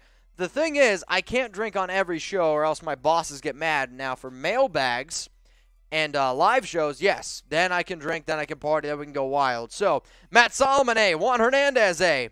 Let me know, guys. Grade that video. Coming up right now, it's going to be mailbag time. So I'm going to answer your questions for the next 12 to 15 minutes or so. The way they get your questions or comments on the show, you see it down there below. Hashtag Raiders or Super Chat. If you're having a good day, we're six likes away from 420. I know that usually makes a lot of Raider fans' days a little bit better. So if you haven't already, please like the video. I don't know what Sam said, but mm, Sam's not having the best day, he told me. Not having the best day. So we got to cheer Sam up here a little bit. So if you haven't, please like the vid. 640 people watching. Y'all ready to get into this mailbag? I hope y'all are ready to get into this mailbag. I should also mention that we're like $75 away from doing some more shots of Fireball. But you know what? I'm about making deals with the nation. So we're going to do this. Every PG says Sam needs a shot. You're not wrong. The next person that sends in a $20 super chat, Sam and I will do a shot. And then from there on out, every $20 super chat that comes in, well, we're going to start ripping some shots of Fireball. Maybe I can even get Trizzy Trace in here to rip a shot with me as well. So, we got a mailbag coming up right now. So, please, hashtag Raiders or super chat, get those questions and those comments on the show right now. Raider Nation, what's going on? You're watching the Raiders Report, and today's mailbag is presented by our good friends Aura. How many people out there use the internet? Yeah, exactly. Everyone uses the internet, and I want to make sure that your money, that your identity is safe on the internet because people right now on the black web, man, dark web, they're getting better. They're getting smarter. So make sure you and your family are protected. Start your free trial right now. Aura.com slash chat sports. That link is going to be available for y'all in the comments and in the description of today's video. Let's go to Daniel Topchi, who I guarantee is on Aura because this is a smart man right here. Any chance we sign a right tackle? Personally, I don't think that the Raiders sign a right tackle. It sounds like they are confident in Alex Leatherwood and they are confident in Brandon Parker. What up, Shane? Hey, Mitch. I read an article that Leatherwood is killing it in OTAs, and it said that he might have a breakout sophomore year. Thoughts? I would say that I've also read that. I would also say that I listed Alex Leatherwood as one of my OTA winners. You also have to remember the last OTA day was June 13th and 14th. So if anybody's telling you that they saw something new, it's not possible. OTAs aren't going on right now. The next day that you'll see the Raiders practice Rookies, UDFAs, and quarterbacks they report for training camp on July 18th, and then veterans can report to the on the 20th. But I did also hear that Leatherwood was uh, looking pretty good. What up, Brandon Jasper? If you want more content and would like to see Mitch in the mornings become a local supporter, also, damn, Kolton is a giant. You're right. Kolton Miller is a humongous human being. He's literally Probably the one of the biggest dudes I've ever stood next to, but you're right, Brandon.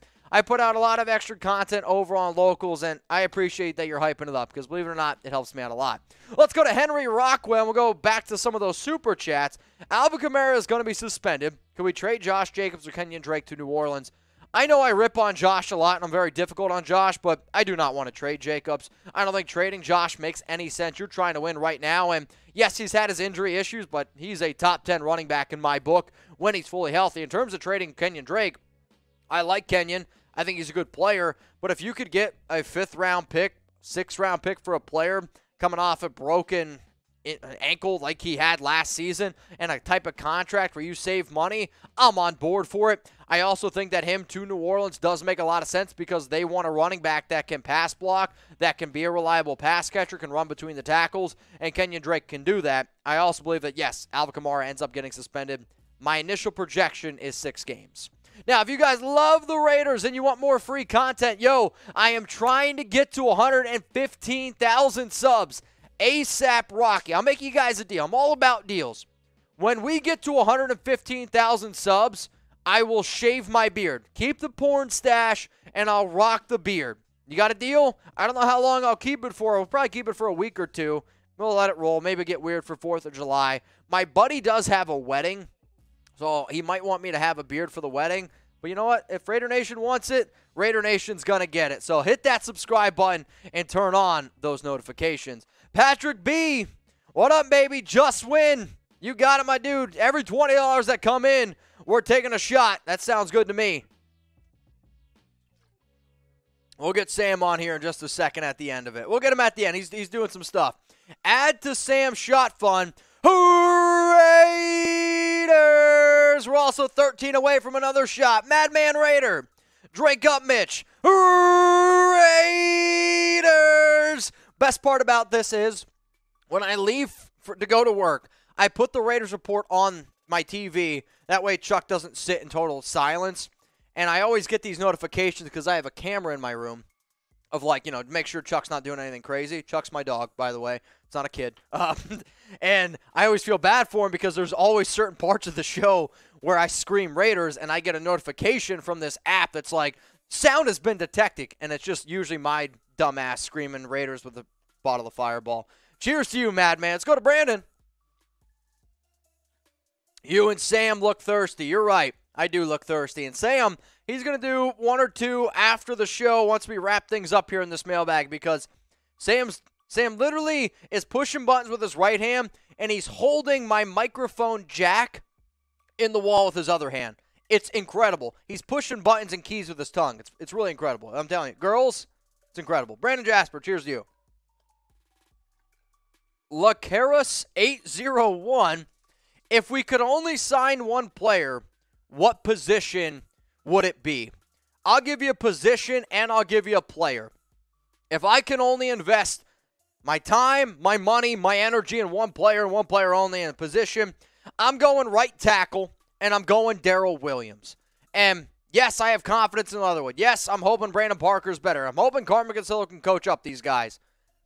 But I watched the offensive line last season and it was a shit show.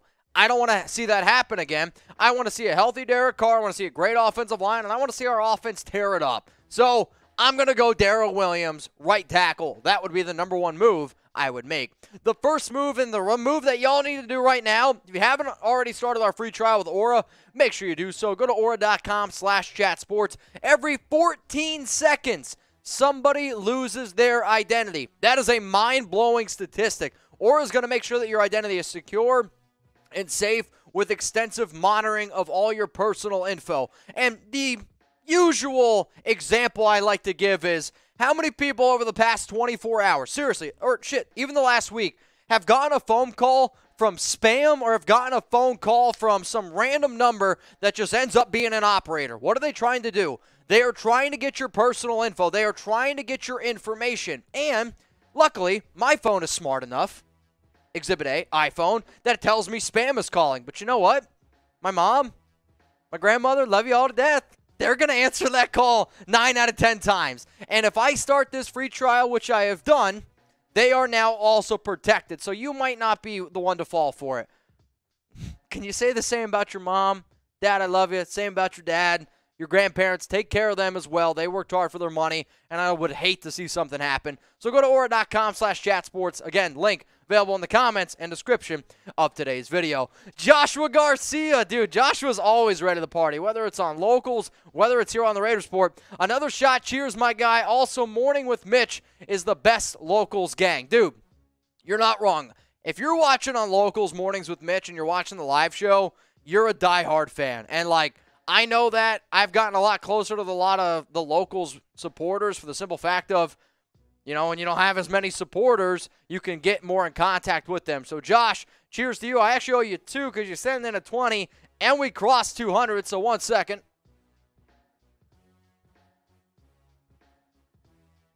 Oh, boy. We're getting close to finishing that bottle. All right, what are we at? We are at $209 in super chats. Okay? Here's the deal. Here's the deal. If we can get to if we can get to 300 in supers, I'll finish the rest of that bottle. Let's get it going. What up, Javier? What's up with the Sue Bud?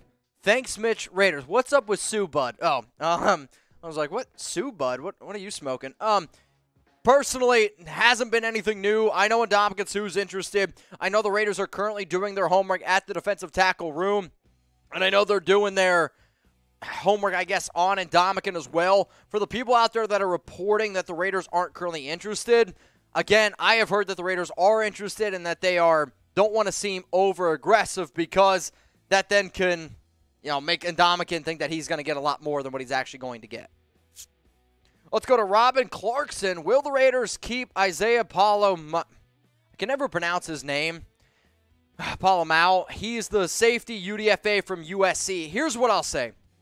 Does he have connections to the Raiders? Yes, absolutely, right? No doubt about it. His his uncle, or at least I believe that's what he calls him, Uncle Troy Polamalu. He practices with him. He works with him in the offseason. Also, the Raiders running back coach is Kennedy Polamalu, who is, again, cousins related to Troy Polamalu.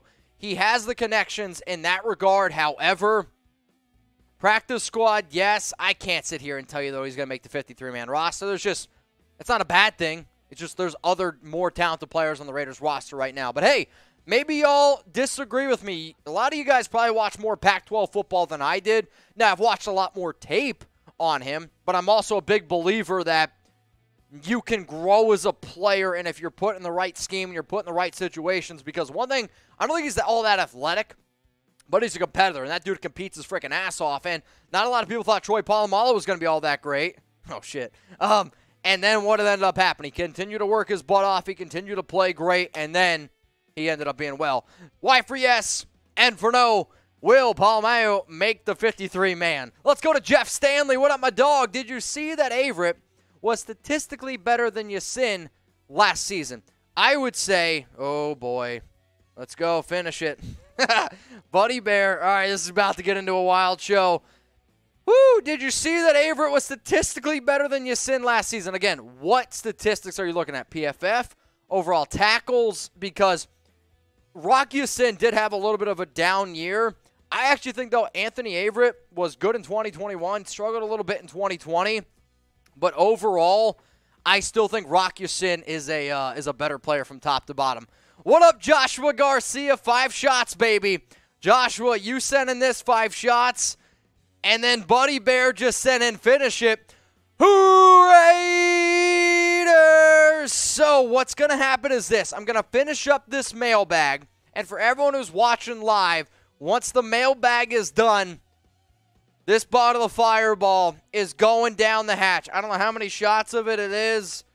It's, it's uh, I don't know, seven, eight.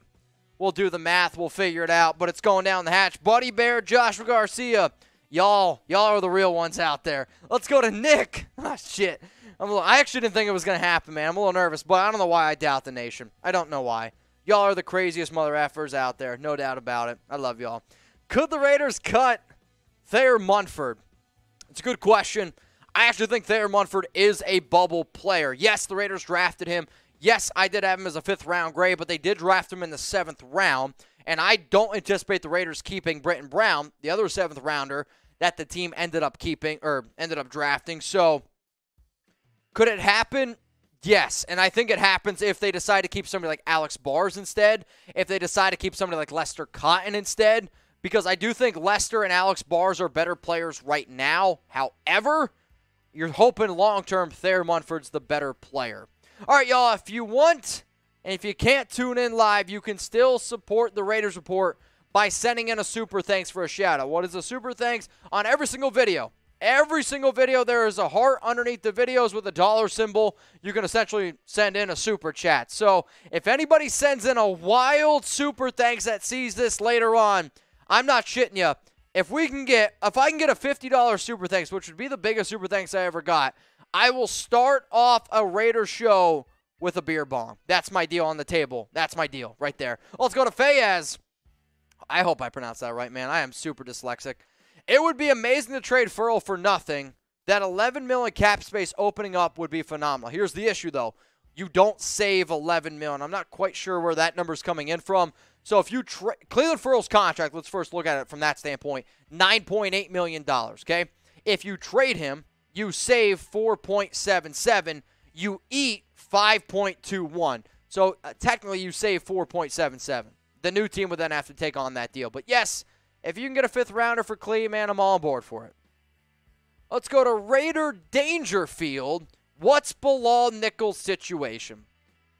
I promised people close to Bilal that I wouldn't reveal what the injury was, so I'm not going to go back on my word. I'm a man of my word, but I will tell you because I was allowed to say it is a knee injury. He injured his knee uh, during what was it during minicamp right there. I'm trying to think. Whatever was hell was between June 7th and June 9th. Bilal ended up banging up his knee. He was supposed to come to my Johnathan Hankins uh, burger eating contest thing. Messaged and said that he couldn't make it because he injured his knee. So he told me, and his camp told me he won't participate in the preseason, and he should be ready. He said 100%, but again, it's the offseason. Uh, he should be ready by week one. The injury, though, it does scare me a, little bit. All right, y'all. So, one of the questions I was asked earlier on today's show was around Kenyon Drake. And my question to you is this Should the Raiders trade Kenyon Drake? Type T for trade, type K for keep. Let's say, hypothetically speaking, the Raiders got a fifth round pick. Fifth round pick, New Orleans wants Kenyon because of the whole Alvin Kamara situation. Would you accept that trade? T for trade, K for keep. Let me know what y'all are thinking. Let's go to Chris Spencer. Why are we not seriously entertaining the Julio signing? I think it's multiple reasons. And the first reason is Julio has not been able to prove that he can stay healthy. He's played only 14 games over the past two seasons. I love Julio Jones. And for those of you that maybe have followed me throughout my fantasy football career, every single year I was like, Julio Jones is, is a sure thing as you're going to get. He might have a lingering hamstring injury, but he's still going to go out there and he's going to play and he's going to get you his fantasy points. The issue is now it's not quite the same. He's not nearly as healthy as what he used to be. And not that Julio is not a great player, but would you invest $10 million in Julio Jones or would you invest that in some other areas? If anything, I, the position that I'm probably the most confident in is wide receivers and tight ends room. Julio would be what, your fourth option? I'm just saying, you can invest your money in a better spot. What up, Juice Head 89? Any updates on OBJ and get Quinnen Williams? Any updates on OBJ? No. Quinnen Williams, you would have to trade for him. Obviously, Quinnen Williams would be a phenomenal defensive tackle, but uh, as dumb as the Jets are, they're not dumb enough to give up Quinnen Williams. But hey, I like the creative idea. I like the thought process behind it. Let's just face it, though, it's uh, it's not going to happen. Let's go to Raider 508. Drake Clee in a fifth to the Saints for Michael Thomas. Drake Clee in a fifth to the Saints for Michael Thomas. Oh man, I'm just going to respectfully say the the Saints say no really really quickly. I mean, the only way you're getting Michael Thomas, and I get it, dude hasn't played essentially in 18 months, but the Saints paid him a shit ton of money. It's basically a five-year, hundred million dollar deal. Trace, who runs our Saints show right now, just walked in. You got to offer a first. If it's Drake, Clee, and a first round pick for Michael Thomas, they might say yes, but again, Clee doesn't really have any value. Kenyon Drake doesn't have all that much value, and they still want Michael Thomas. So unless a first rounder is involved, personally, my dog, I don't think you're getting him.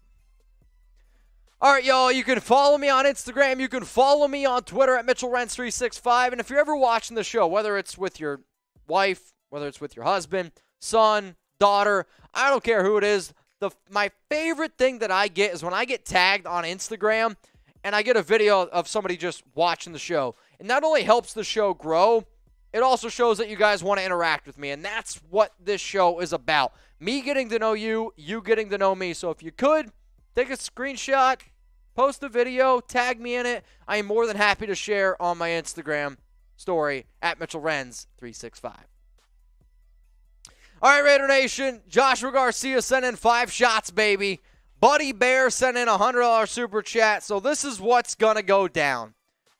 The fireball. Uh, I don't know the last time I've chugged this much fireball, but we're going to go for it. We're going to get after it. And this is essentially the end of the live show. But hey, if you guys want to keep the party going, if you want to keep it rocking and rolling, we can continue to do that. Sam, if you want to take a shot, you can. I know I said Sam would take it, but unfortunately, this is kind of th- this is all the fireball I have. So I'm gonna reward y'all, and I'm gonna finish this. So Buddy Bear, Joshua. Here, here we go. Sam, Sam's again. You guys can't see Sam, but Sam's behind the screen like this. So he's moving his mouse with his right hand, and he's keeping my mic pack plugged in with his left hand. So he's literally full full on spread. It's impressive. It's, it's very, very impressive. There's no doubt about it. All right, we're going to finish these. We're going to knock them down. If you guys want me to do a beer boot, we'll do a beer boot for a 50 piece. Why the hell not? That's, that's where we're at at this point in the show. Cheers to the nation.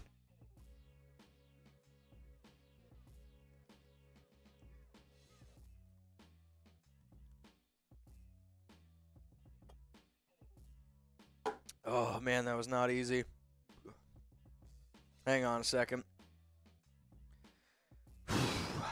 I always wonder when the random person that comes across the show and sees what the hell we're doing, they're like, "What the hell is this guy doing?" I don't I don't really know. I also know this. I didn't eat anything before the show cuz I didn't quite anticipate this. So, you're going to get a little bit of a tipsy guy, so if you want to see the tipsy going, uh, we can uh, we can keep it rocking and rolling here. So, that's going to be the end of the live show unless we get more super chats or you hit up the Venmo at Mitchell Renz 365. Remember, the Raiders Report goes live every single Tuesday at 6 p.m. Eastern Time, 3 p.m. Pacific.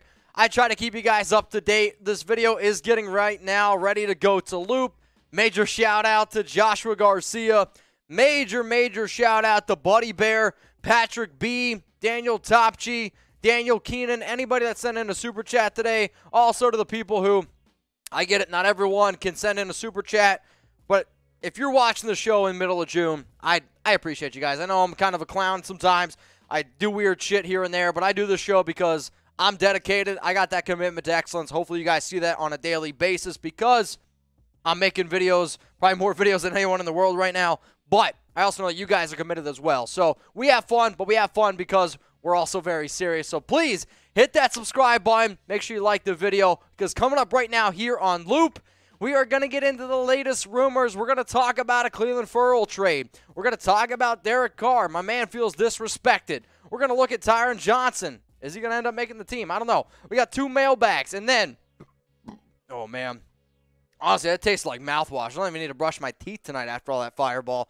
10 surprise cut candidates from Paul Gutierrez's 53 man roster projection video. You guys were a hell of an audience. I appreciate y'all. I'm getting out of here. Much love to the nation. And coming up right now, the latest news and rumors around the Las Vegas Raiders.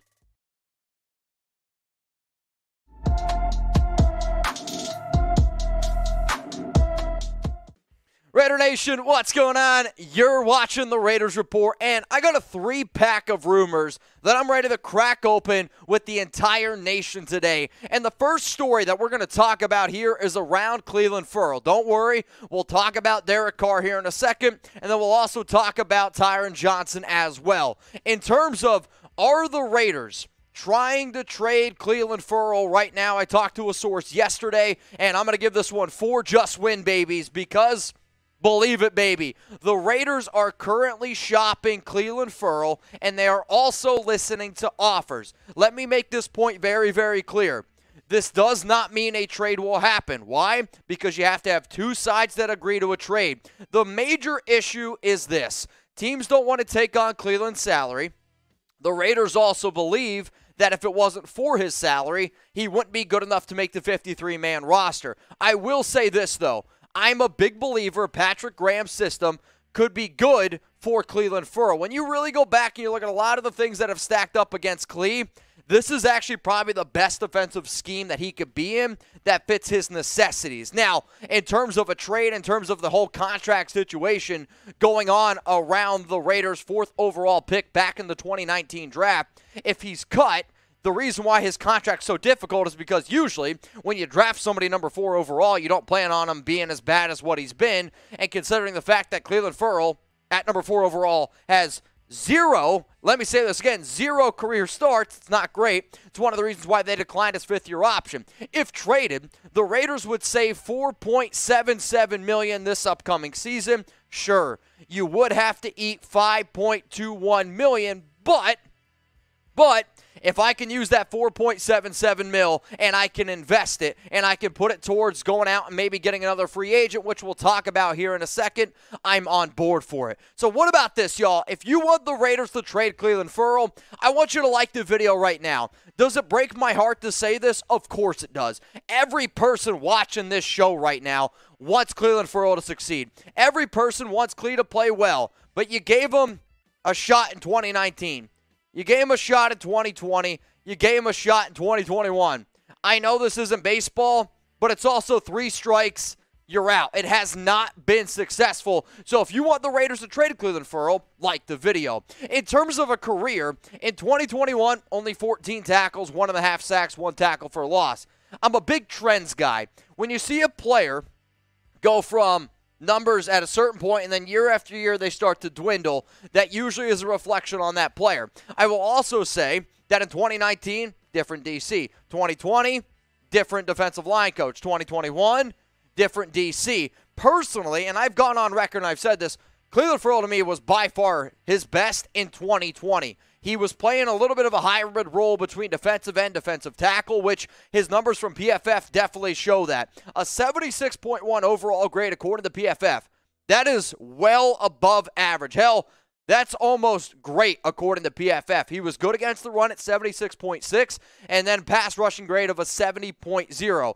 I'm a big believer the reason why he thrived here is because he was used in spurts. Yes, again, you don't draft somebody number four overall to play in spurts, but he was used correctly by Rod Marinelli and he was used correctly in Paul Guenther's system. The reason why he struggled so much last season is because in Gus Bradley's scheme, you put a lot more pressure on your defensive lineman because you never blitz.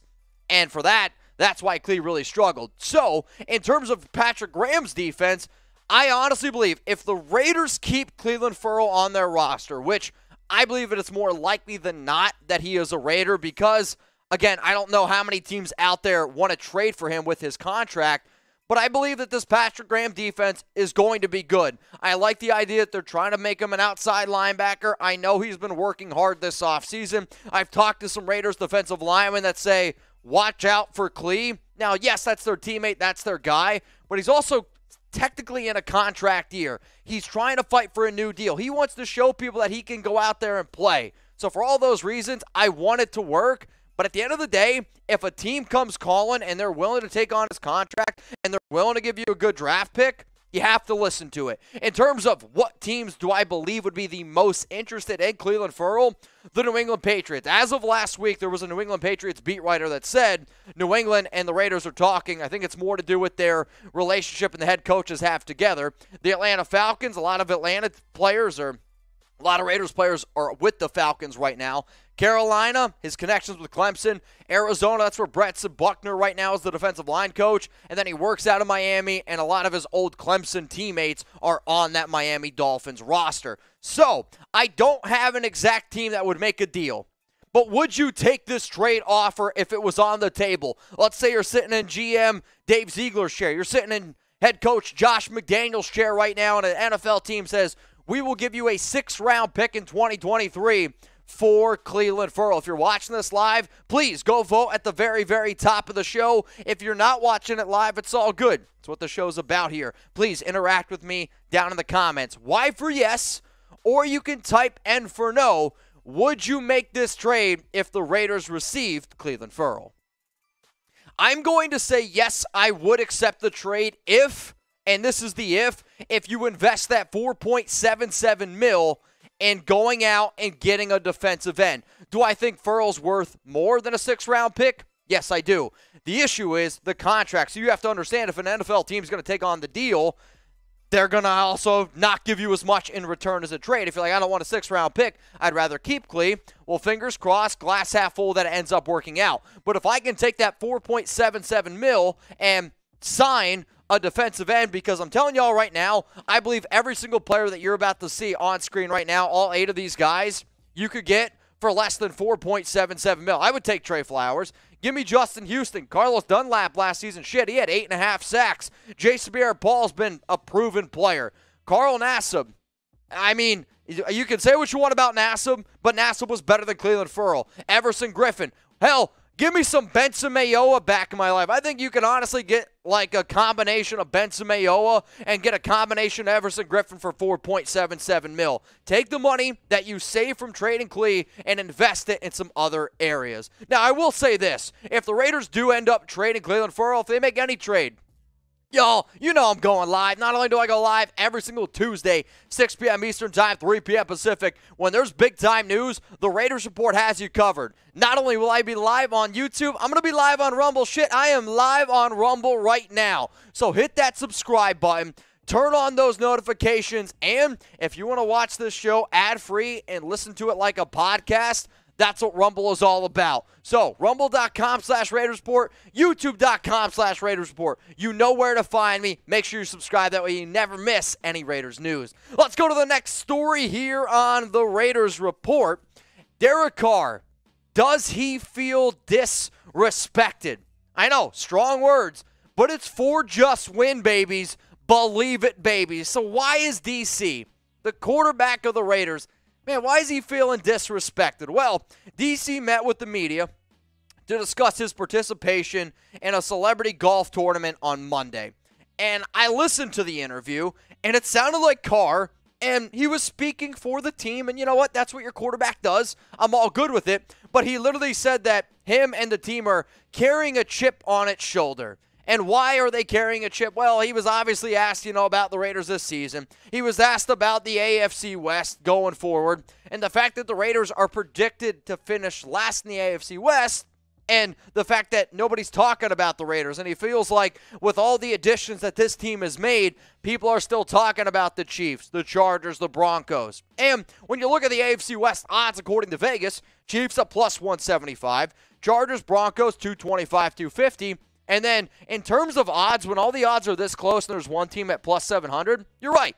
The Raiders are simply not respected in that regard. And then in terms of other odds here for the silver and black, the win total over under is eight and a half, so one and a half games less than last year. Make the playoffs at plus 190. That means the odds are against them to make the playoffs. Win the AFC West, as we just mentioned. Win the AFC at plus 2,000. Win the Super Bowl at plus 4,000. Hell, there are 17 other teams in the NFL. 17. 1 7 that have a better chance, according to Vegas, at winning the Super Bowl than the Raiders. And that doesn't mean that they believe that they're the 17th best team, because what goes into account is the division, the schedule. But 17th best odds, to me, that seemed a little bit low when you really think about it from top to bottom. So, what I'm curious about is this DC feels disrespected. And he would probably answer this question with disrespected. So the Raiders report is built on the back of Raider Nation, being a die-hard fan base, taking time out of their day on a random June afternoon to watch the show. Why? Because you're a die-hard fan and I appreciate you. So, what is your one word reaction right now to the Raiders being underdogs, to people sleeping on them, to Derek Carr having a chip on his shoulder, what is your one word reaction? Let me know right now. My one word reaction is good. Why is it good? It's good because this team has proven year in and year out year in and year out that when this team is an underdog, when this team, nobody believes in them, they show up. And games that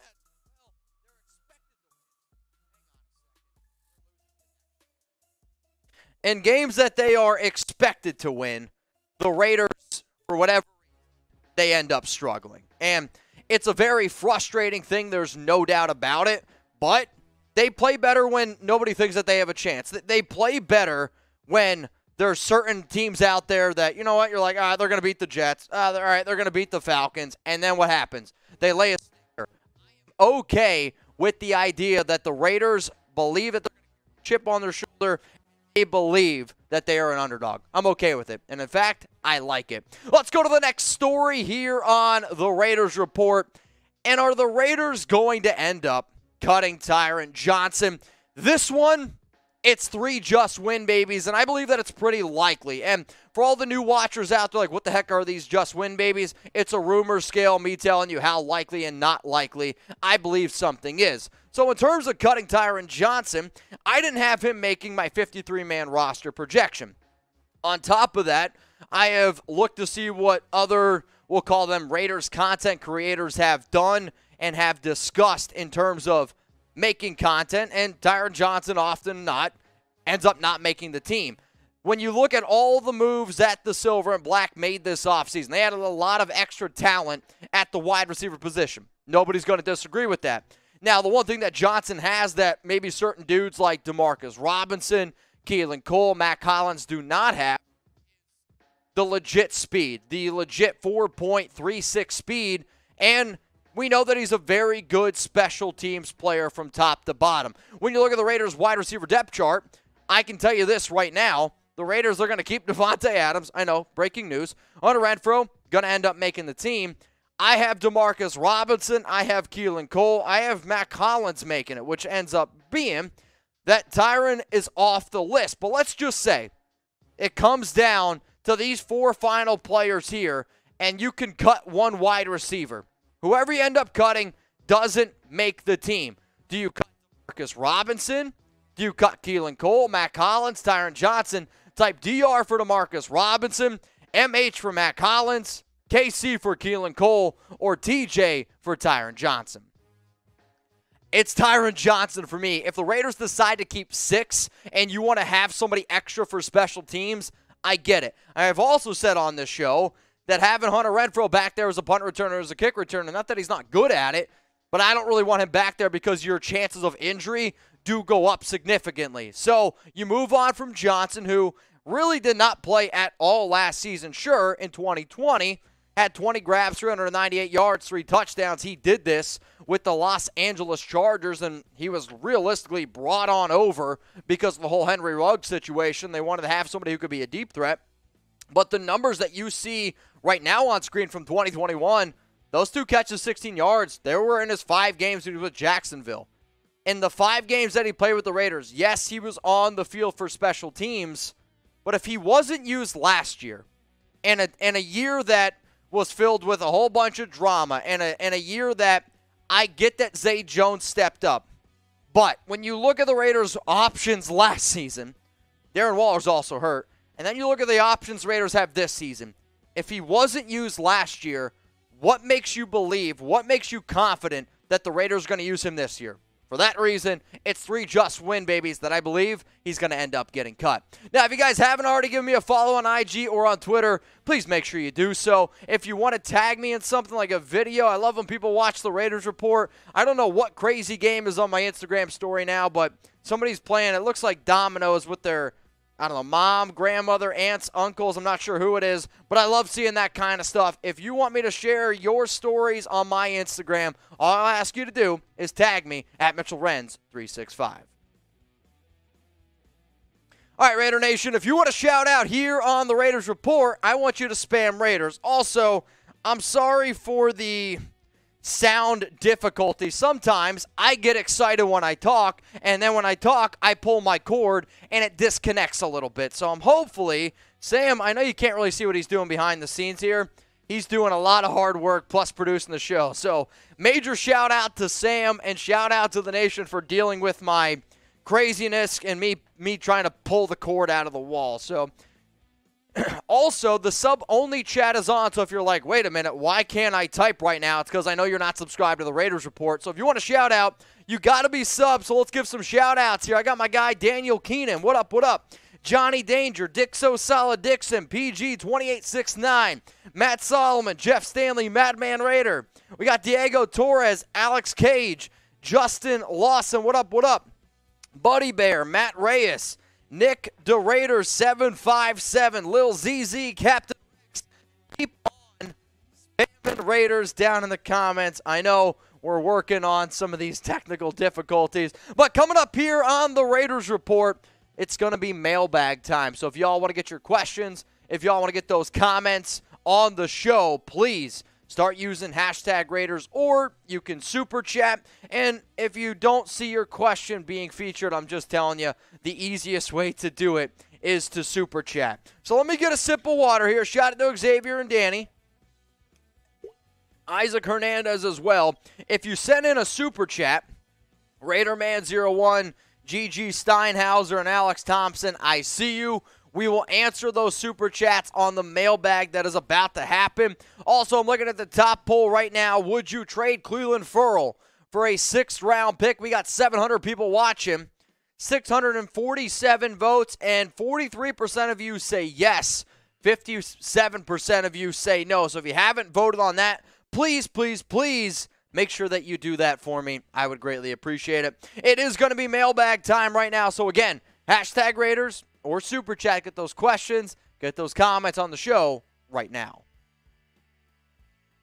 Raider Nation, what's going on? You're watching the Raiders Report, and it is mailbag time. I go live every single Tuesday, 6 p.m. Eastern Time, 3 p.m. Pacific, and I answer the questions, the comments from Raider Nation. I also want you to say, friendly reminder this was filmed on Tuesday, so please, if anything changes, don't shoot me. Let's go to Raider Man 01. Mitch, no less than a fifth. Just win, baby. He's referring to a trade around Clelin Ferrell. I'll say this.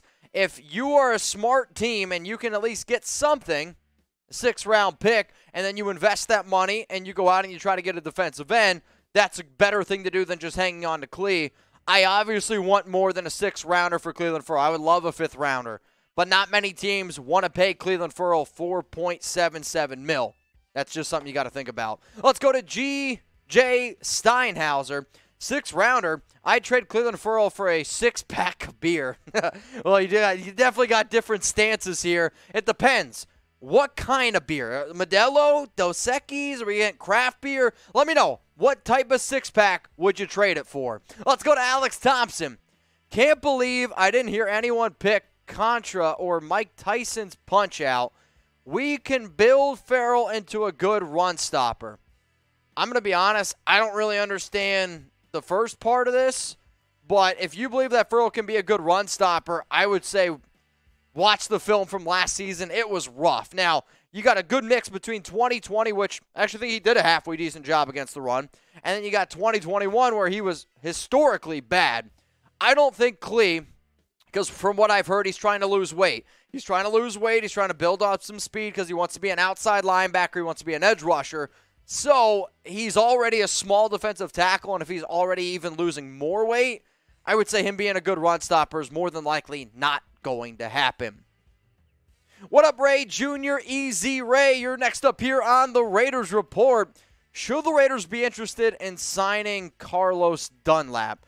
I would be interested in signing Carlos Dunlap. I mean, I'm a big believer you can never have too many edge rushers. You can never have too many defensive ends. And for a player like Dunlap, who I talked about him a bunch when the Raiders had Paul Guenther as their defensive coordinator because the best years of Dunlap came in Cincinnati with Guenther. But now, over the past two seasons in Seattle, Dunlap's been successful. Hell, I don't know how many tackles he had, but I know he had eight and a half sacks. Yes, he's getting up there in age, but if you're telling me right now you can add an extra player, oh boy, Patrick, you can add an extra player into the mix who's going to be a dominant dude, why the hell not? Super chat time coming in from Patrick B.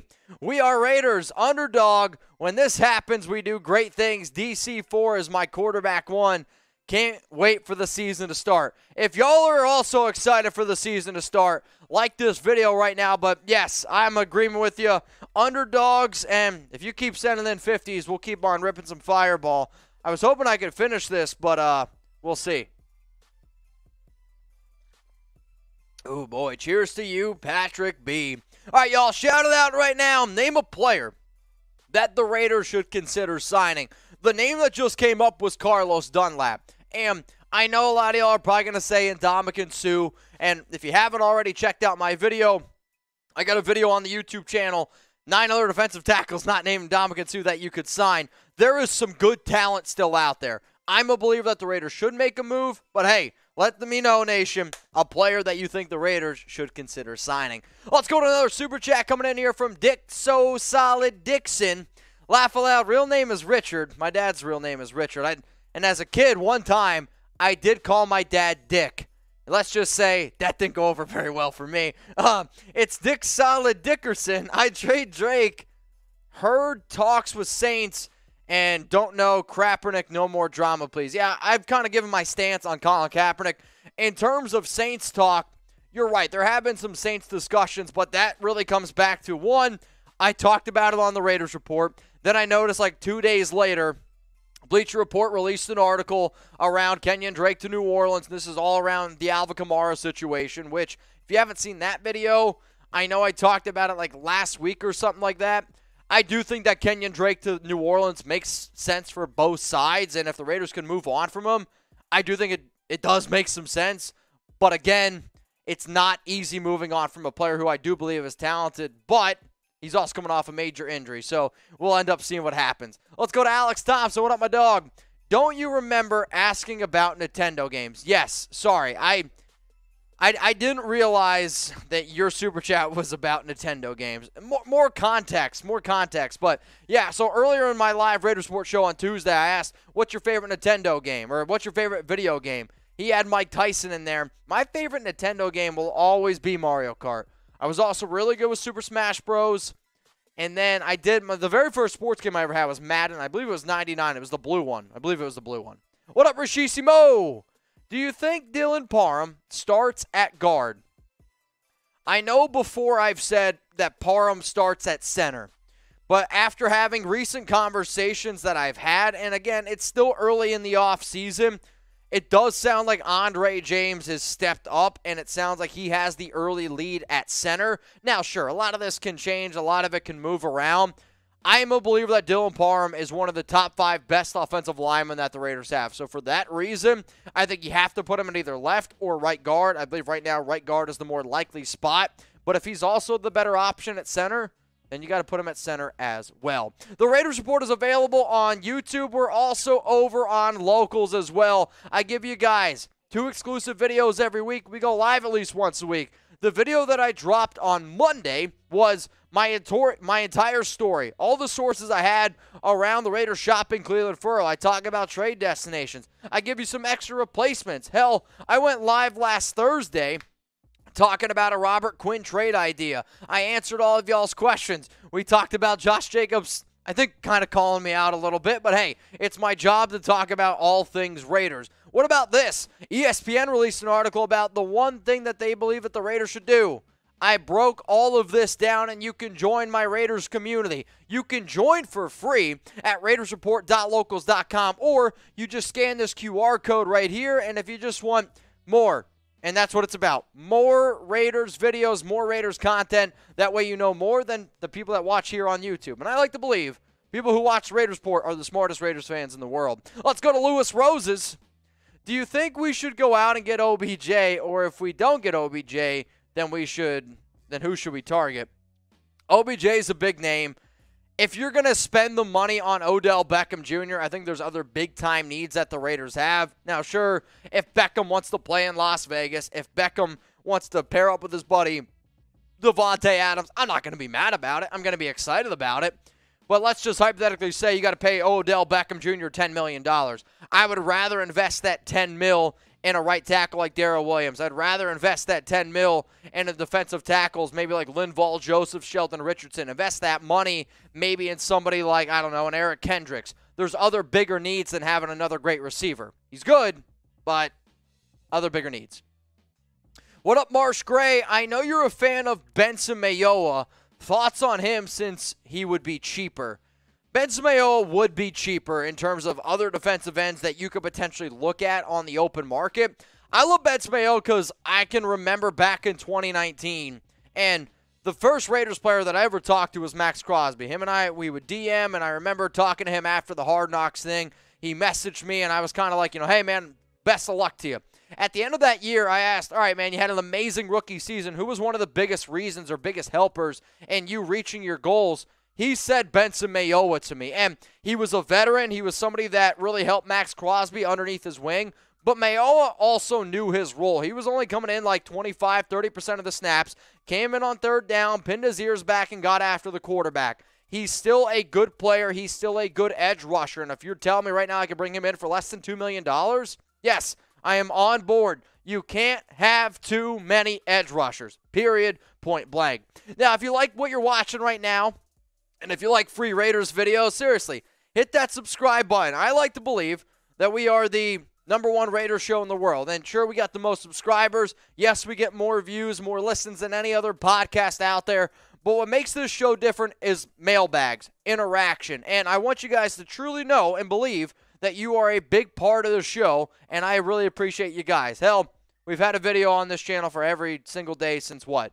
It's like three years at this point. We're dedicated, and I know you are too. Hit that sub button. Let's go to Joker Johnson. I say give them until the trade deadline if they suck. See if a trade, uh, see if a trade will want them, but if they play better. So here's the thing: the NFL trade deadline, I believe, is like November 1st. It's like 4 p.m. Eastern time. If the Raiders are playing well, then I don't really see why you move on from guys like Johnathan Abram, why you trade somebody like Clelin Ferrell. If the Raiders are sucking, then yes, you could potentially look to move on. But if the Raiders aren't playing well, then I don't know if those players would be playing well either. Let's go to Daniel Caps Keenan. As a Raiders and Mets fan, Trey Jacobs, he was wearing a Yankees jersey. Raiders! Also, we hit $100 in Super Chats. Every time we hit 100, shot a fireball during the offseason. Yes, he was wearing a Yankees jersey, which, believe me, it broke my heart as well. But I can also understand being a being an NFL player in town for the NBA draft. You're going to take tours. You're going to do this and that. And if you don't have a real affiliation to any team out there, you'll throw on a jersey, right? Especially if they give you a free tour and give you access that not normal people get. So I get it. Believe me, I wasn't happy about it either. What up, Joe Burns? What's burning on you, Joe? Should the Raiders be more concerned with extending Waller than trying to sign an old cornerback. Yes. And this Raiders organization, I, am pretty sure I said this last week on the Raiders Report.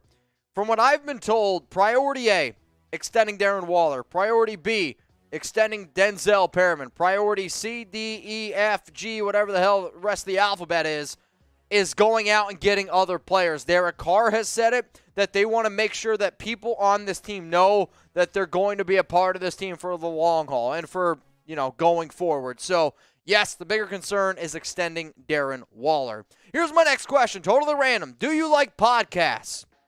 Type L for like or type D for dislike. The reason why I'm asking if you like podcasts or not, it's because you can listen to the Raiders Report like a podcast over on Rumble. I know a lot of people are always like, are you available as a podcast? The answer is technically yes. The issue when you watch a show on YouTube, if you minimize it, the show stops. It's just the way YouTube works.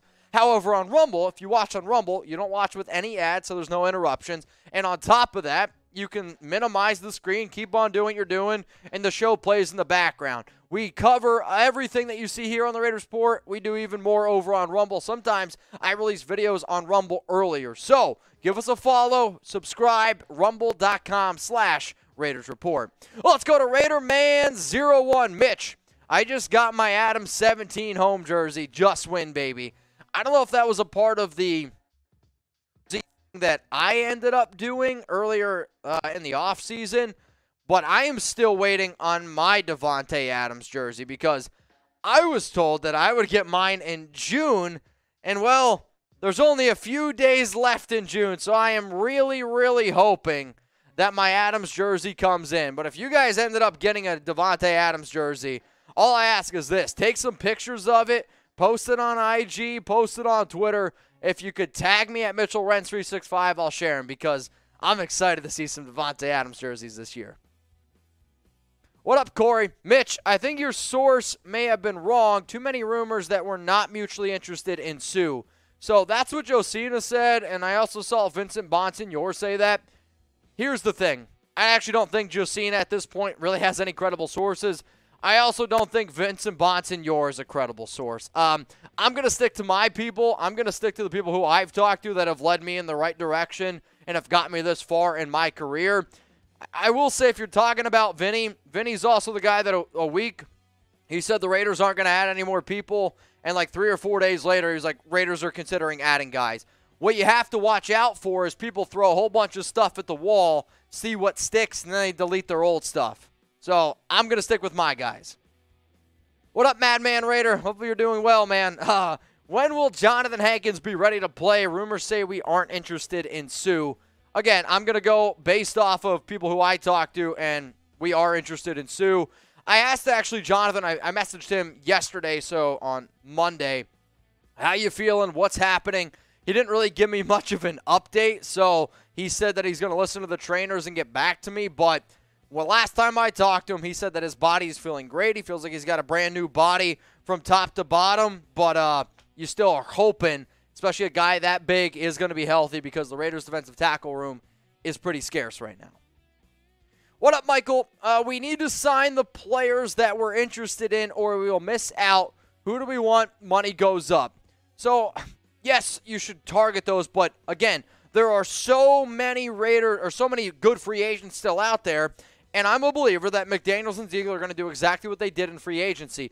Everyone was hitting the panic button. You remember during free agency, why aren't the Raiders doing anything? The Raiders aren't doing this. Raiders aren't doing that. The Raiders were doing their homework. They were working hard behind the scenes. They don't want to overpay anyone. Do the Raiders have a lot of money right now in salary cap? Yes. But because of all the, we'll call them failed contracts, because of all the void years, because of all these extra deals that the Raiders have had to make over the past two seasons, when you go look at how much money the Raiders are projected to have in 2023, 2024, and 2025 is going to be an interesting year. But over the next two seasons, the Raiders actually will not have that much salary cap space. So I've also been told that it wouldn't surprise me if the Raiders don't make any moves this season, save up some of that cap space. That way they can still wheel and deal over the next two seasons. What up, Vincenzo? Should the Raiders sign Jason Pierre Paul? I'm never I don't ever think it's a bad thing to do your homework. I also don't think it's ever a bad thing to pick up the phone, give certain players calls, and say, hey, how much money are you looking to do? Hey, could you potentially convince Ndamukong Suh to come on over with you at a cheaper deal? Do I think JPP could help out the end, the defensive end room? Yes. Do I think he'd fit well in a 3-4 system? Yes, I do. However, there are other better options available. So if you're interested in JPP, I would say why not pick up the phone and call some other defensive ends, right? I mean, that makes sense. Now, we get a lot of questions. We got a lot of people watching right now. 731 people watching the Raiders report right now. If I missed your question, if I missed your comment, please don't be afraid to ask me on Instagram at Mitchell Renz 365. Hang on, I need some water. And also make sure you give me a follow. That way you stay up to date on everything. And I mean everything going on around the Raiders because during the offseason, a lot of stuff can happen. A lot of things can be hit or miss. And uh, I'm really, really hoping that you guys don't miss anything. So please, if you haven't already, hit me up IG, Twitter, Mitchell Renz 365. All right, y'all, shout out your city. We're going to start giving some shout outs here. We got 740 people watching the Raiders board. Awesome numbers there. Appreciate everyone who's taking time out of their day on this random June afternoon to watch the Raiders board. So let's see where the nation is going from. We got PG. What up, my dude? We got Robert Bruce. Appreciate you. Daniel Keenan, Albany, New York, Carlos, San Diego, San Jose from PG 2869. Arthur Madrid says Fresno. We got Sacramento 916 from Jack. Super chat coming in from Daniel Topchi. I see you, Daniel.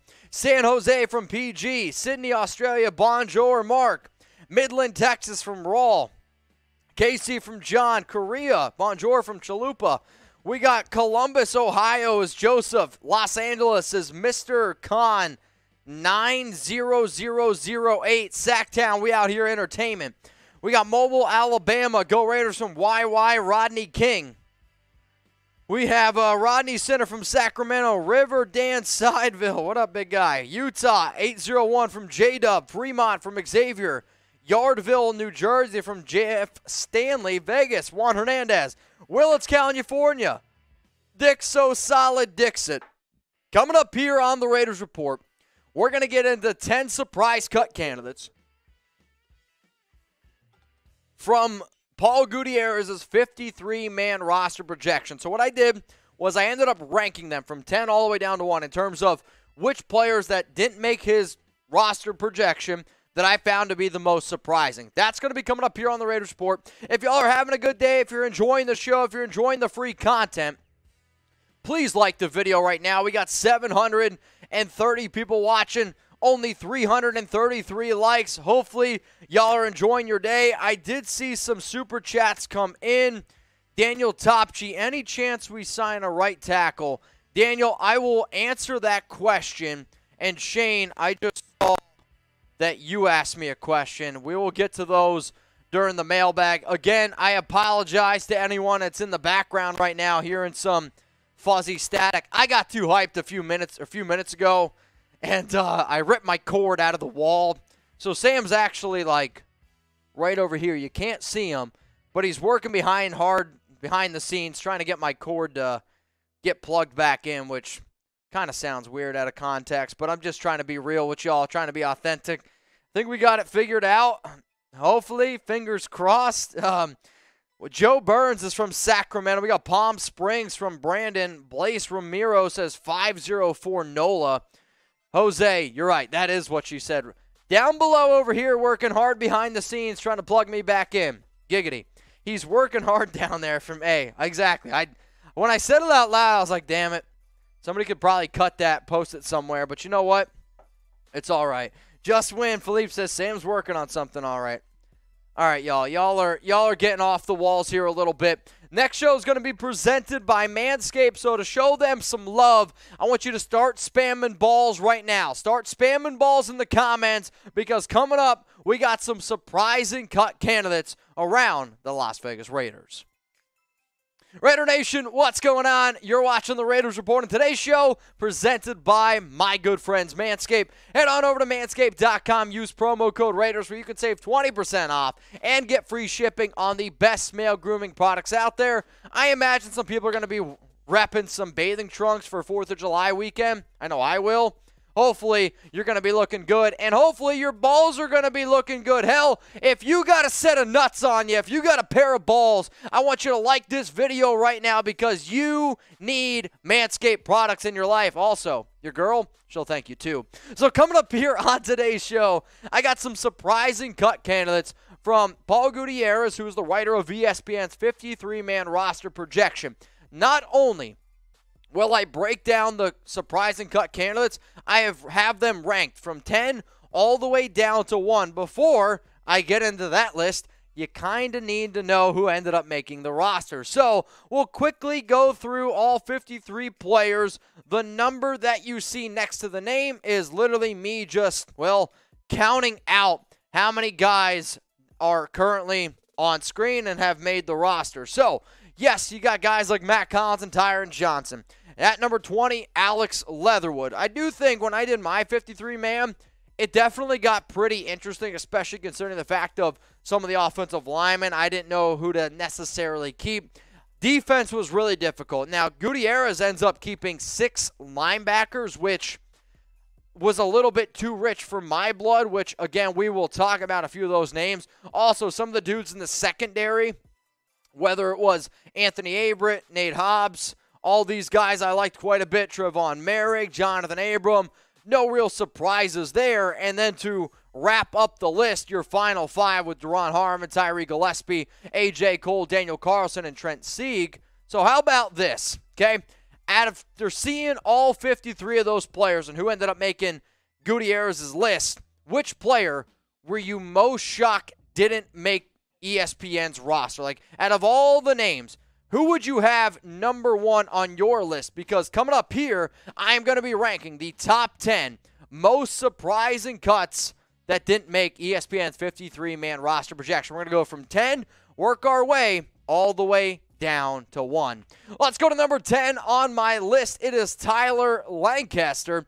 The Raiders signed him this offseason, and in terms from a career standpoint, he's played in 59 games. He's got 29 or 21 starts, and he started in three games last season. From a PFF standpoint, 55.8 overall grade, 56.4 against the run, 53.1 against the pass. The reason why I was surprised by it, and when I did my 53, I didn't have Lancaster making the team either. But from a standpoint of the video, I could see the Raiders trying to keep him because he's a big body at six foot three, 313 pounds. He's got some playing experience, and on a team right now that's got their top two defensive tackles banged up, their other top two DTs are rookies. Maybe you want somebody who just has a little bit more playing experience. That's why Lancaster, kind of near my hometown, Amish country, what up, makes it at number 10. Number nine on the list is Tashawn Bower, and I know Bower's been working really hard this offseason at being more prepared and being better at being an edge rusher. He played with the New England Patriots and the Vikings last season, also played with New England back in 2020, so he does have some of those ties with Ziegler, McDaniels, and some of the guys on this staff. Three starts, didn't start a single game last season. A 54.7 pass rushing grade. If Bower is to make the team, he needs to be better at getting after the quarterback. So last season, one sack, one tackle for loss, four tackles.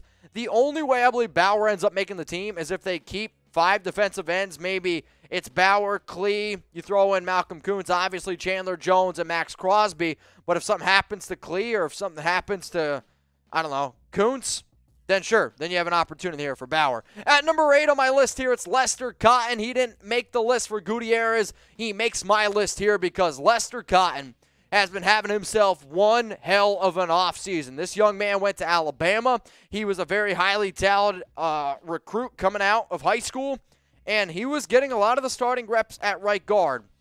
And I believe the, or left guard, or no, right guard. And the biggest reason behind that is because you got a lot of injuries to Denzelle Good. He was a big time mini camp winner, from what I was told.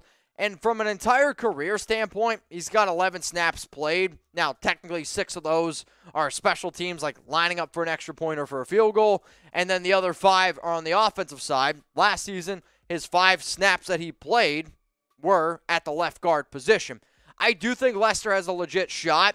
I know that there's a lot of Raiders beat writers out there that believe that he's going to end up making the team. He didn't make Gutierrez, and for that reason, it was a shock. Now, remember, y'all, today's show is presented by Manscaped. They're turning the lights on, and they're also going to be turning your girl on. Make sure your George W. is looking A OK for 4th of July weekend. How do you make sure you do that? Get your hands on the performance package. It's usually $121.94.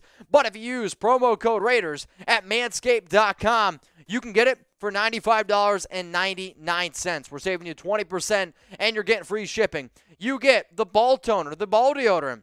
If your balls smell good, believe it or not, that shit helps out a lot. You're going to get the most comfortable boxers in the world. The weed whacker, which gets all rid of all those annoying little nose hairs. The Lawnmower 4.0, the best way to make sure that your body is fully manscaped. It's manscaped.com. That link's going to be available for y'all in the comments and in the description of today's video. At number seven on my list, Jesper Horsted. And Horsted was signed this offseason, brought in to be a backup depth piece here at tight end.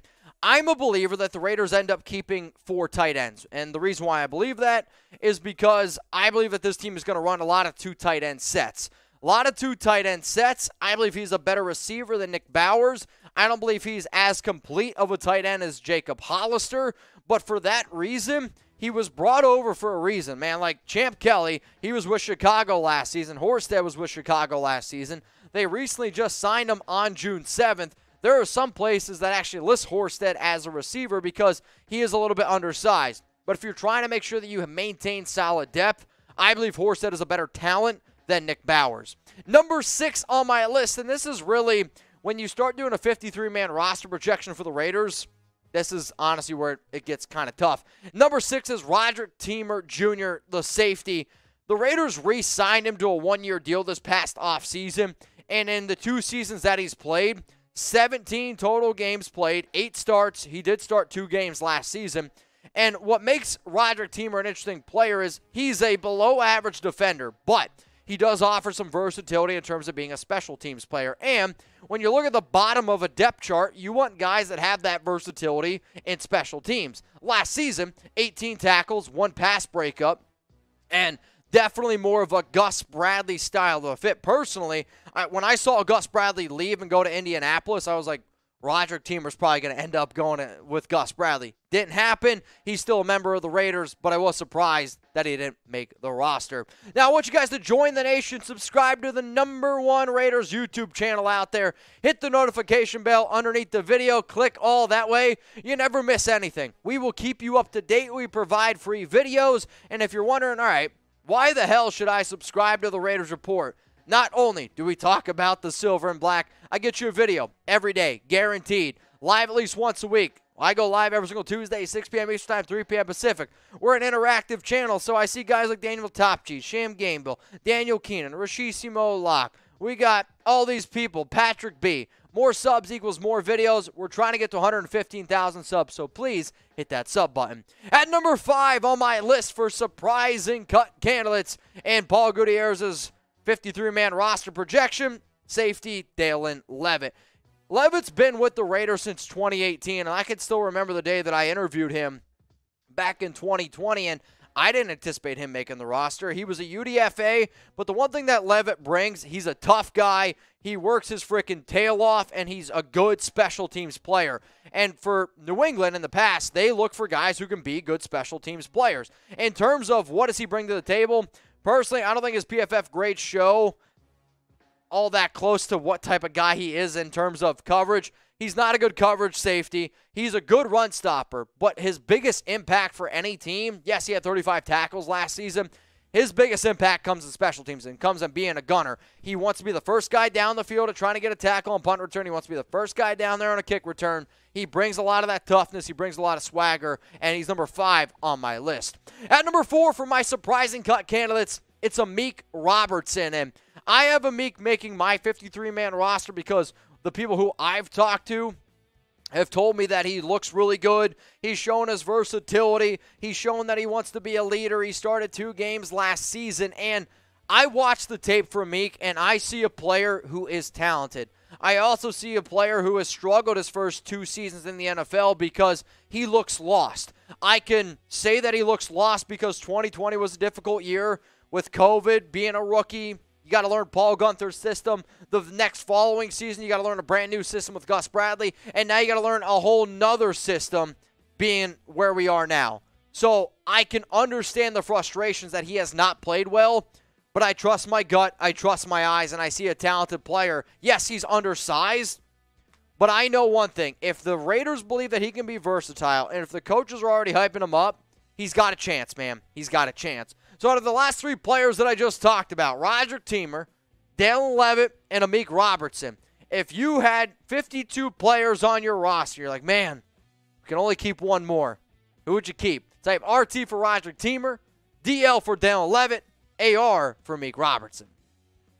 At number three in my surprising cut candidates video here, it's Jacob Hollister. And I'm actually a big fan of Hollister. No, the clothes don't fit me anymore because, well, I've gained a few LBs and I'm not in high school, but Jacob Hollister is a signing that I promise y'all you're going to like after the season. He played for the Patriots in 2017 and 2018, one of the reasons why he was brought in. He's a good catcher of the football. He can also block a little bit as well. When I look at the overall depth chart here for the Silver and Black, I view him as the third best tight end. I would take him over Horsted. I would take him over Nick Bowers. His versatility is something that the Raiders coaching staff is going to like. His willingness to play literally on the field is something that coaches are going to like. From a statistical standpoint, the best year he ever had was in 2019. He had like 41 catches. He's not going to get you a lot of yards. He's not going to be somebody you can stretch the field with. But in a situation where you need an extra body, he has way more playing experience than any other tight end on the roster, not named Darren Waller.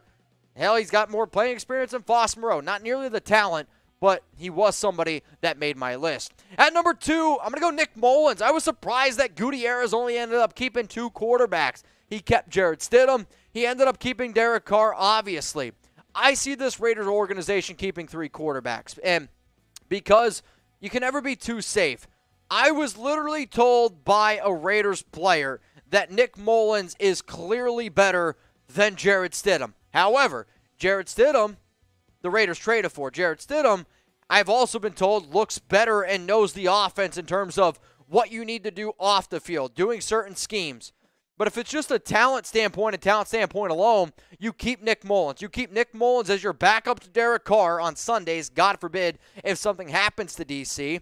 And then for practice squad quarterback, you keep Jarrett Stidham. Jarrett Stidham can be your practice quarterback, or you do just keep him on the sidelines. You help him learn the extra offensive plays. Like, all I'm looking at is talent alone, and Mullens is the better guy. Yes, his numbers from last season were in the game up against the Raiders. I believe it was what, week 15, week 16, when the Browns lost their top two quarterbacks. I've seen Mullens play. I've also seen him torch the Raiders in that one game, which I do not like to bring up, but I'm going to go with Nick Mullens. Number one on my list, the most surprising player that did not make Paul Gutierrez's list was it's Keelan Cole.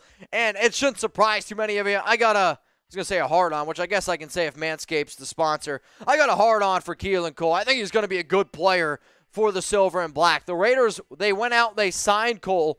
A few days later, they moved on from Bryan Edwards. And the day that they signed Cole, I was like, oh man, Edwards is in trouble. Hell, I made a video about it on locals. Cole is a smart route runner. He's a good player. He's going to find the open hole, and I actually see him as being the third best wide receiver on the roster behind Davante Adams behind Hunter Renfrow. And I guess I say the third best receiver for Derek Carr because Demarcus Robinson's a better athlete. Mack Hollins is a better athlete. But I have seen time and time again if you can be a good route runner and you're a route technician, Derek is going to look for you a lot more often. It was a great example last season with Zay Jones. I think everyone watching would say DeSean Jackson's probably a better athlete than Zay Jones. But Zay was better at finding the open holes. Zay was a better route technician. Therefore, Carr and that offense relied on him. It's the exact same thing for Josh McDaniels. They want good route runners. They want players who show up and work their ass off. That's what you're going to get out of Keelan Cole, and I'd be willing to bet that he's going to make that Raiders roster. So here one more time, y'all, are the surprising cut candidates ranked 1 through 10 in terms of the most surprising guys that did not make ESPN Paul Gutierrez's 53 man roster. If you made it this far in the video and you want to take a screenshot, post it on Twitter, post it on IG, always remember that you can tag me, you can tag Chat Sports. All right, y'all, so what'd you think about this video? I know it was a little bit different from past videos that I have done. I want you to grade it. Be honest with me. I mean, that's the only way I can get better as a host, and it's the only way that I can assure that I'm providing the content that Raider Nation likes. So, A, B, C, D, or F, please be honest, grade the video. All right, y'all, we got one more mailbag, and then I'm going to wrap up this live show. So if you haven't already, use hashtag Raiders or you can super chat. If you super chat, you guarantee yourself a spot on the show. So Daniel Topchi, Shane Gamble, Brandon Jasper, I see you. I will get you a show or get you a shout out here. We got Jack Kennan says A. Vituro says B plus. Andre Martinez, he didn't like it at all. He gave me an F. Stuffed Protectors gave it a D. PG 2869A. Nick the Raider says A. Juan's going to go with a B. Thrash Metal says B. Joseph A. Richard, my dad B plus. All right. Uh, Rustin Long's going to go with a B. PG says A. Terrence Minor B. We got Warren Sapp said he heard the workout was worse. Watch my video from yesterday. I talked about it. B, you barely did any drinking from Aaron Lopez. I mean, if you guys want me to drink now, we can drink. The thing is, I can't drink on every show or else my bosses get mad. Now, for mailbags and uh, live shows, yes, then I can drink, then I can party, then we can go wild. So, Matt Solomon A, Juan Hernandez A. Let me know, guys. Grade that video. Coming up right now, it's going to be mailbag time. So I'm going to answer your questions for the next 12 to 15 minutes or so. The way they get your questions or comments on the show, you see it down there below. Hashtag Raiders or Super Chat. If you're having a good day, we're six likes away from 420.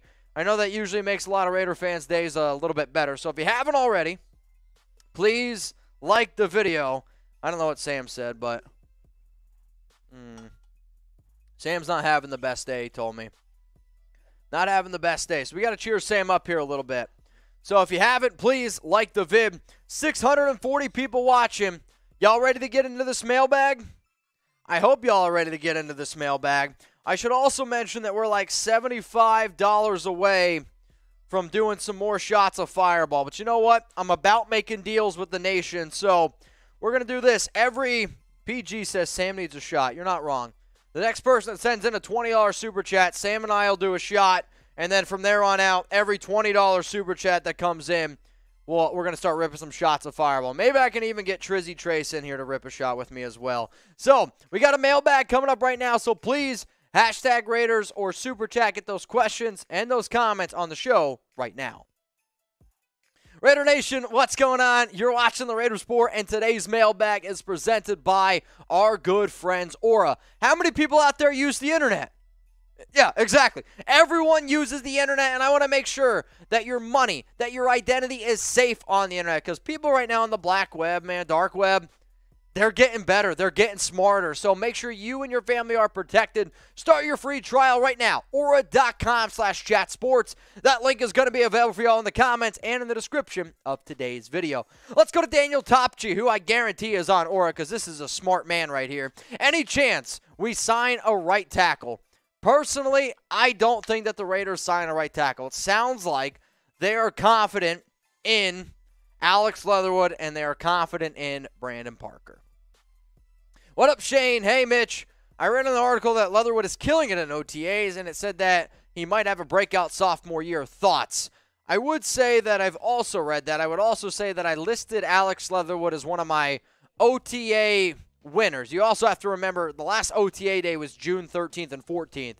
So if anybody's telling you that they saw something new, it's not possible. OTAs aren't going on right now. The next day that you'll see the Raiders practice, Rookies, UDFAs, and quarterbacks they report for training camp on July 18th, and then veterans can report to the on the 20th. But I did also hear that Leatherwood was uh, looking pretty good.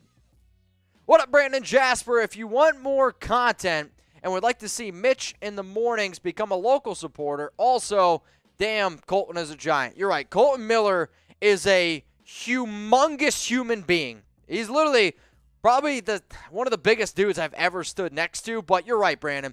I put out a lot of extra content over on locals, and I appreciate that you're hyping it up because believe it or not, it helps me out a lot. Let's go to Henry Rockwell. We'll go back to some of those super chats.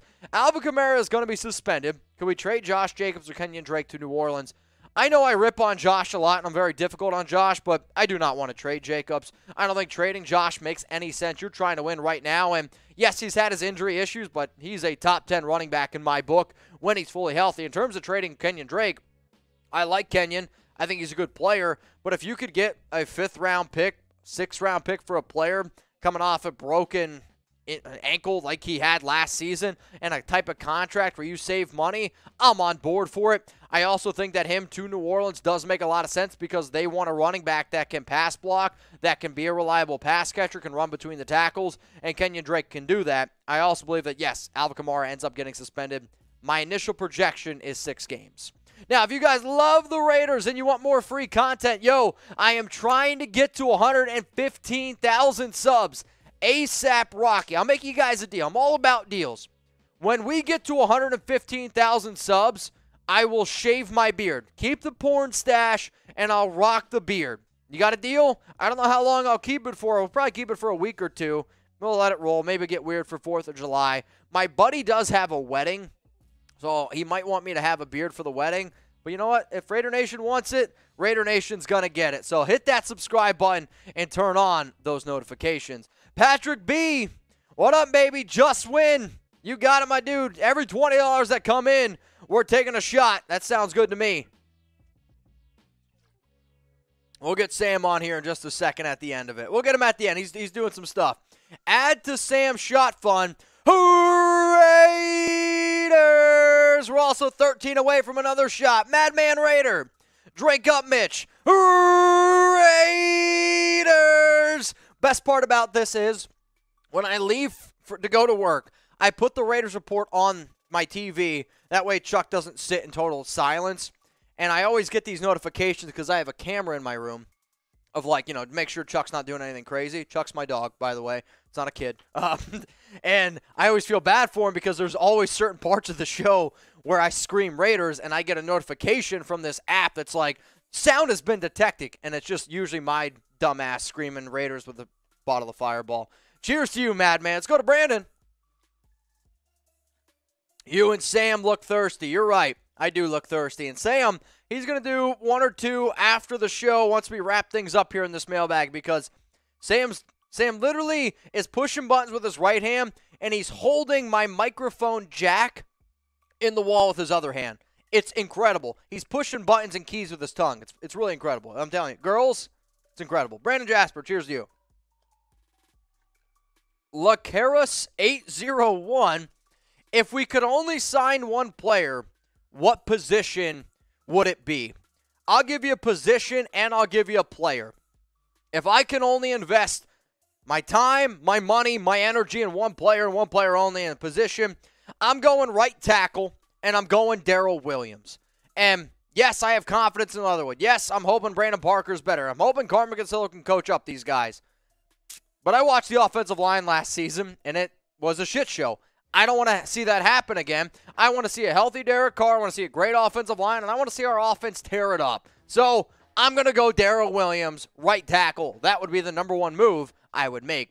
The first move and the move that y'all need to do right now, if you haven't already started our free trial with Aura, make sure you do so. Go to aura.com slash chat sports. Every 14 seconds, somebody loses their identity. That is a mind-blowing statistic. Aura is going to make sure that your identity is secure and safe with extensive monitoring of all your personal info. And the usual example I like to give is how many people over the past 24 hours, seriously, or shit, even the last week, have gotten a phone call from spam or have gotten a phone call from some random number that just ends up being an operator? What are they trying to do? They are trying to get your personal info. They are trying to get your information. And luckily, my phone is smart enough, Exhibit A, iPhone, that tells me spam is calling. But you know what? My mom, my grandmother, love you all to death they're going to answer that call nine out of 10 times. And if I start this free trial, which I have done, they are now also protected. So you might not be the one to fall for it. Can you say the same about your mom? Dad, I love you. Same about your dad. Your grandparents, take care of them as well. They worked hard for their money, and I would hate to see something happen. So go to aura.com slash chatsports. Again, link available in the comments and description of today's video. Joshua Garcia, dude, Joshua's always ready to party, whether it's on locals, whether it's here on the Raiders Report. Another shot, cheers, my guy. Also, Morning with Mitch is the best locals gang. Dude, you're not wrong. If you're watching on locals mornings with Mitch and you're watching the live show, you're a diehard fan. And like, I know that I've gotten a lot closer to a lot of the locals supporters for the simple fact of you know, when you don't have as many supporters, you can get more in contact with them. So, Josh, cheers to you. I actually owe you two because you sent in a 20 and we crossed 200. So, one second.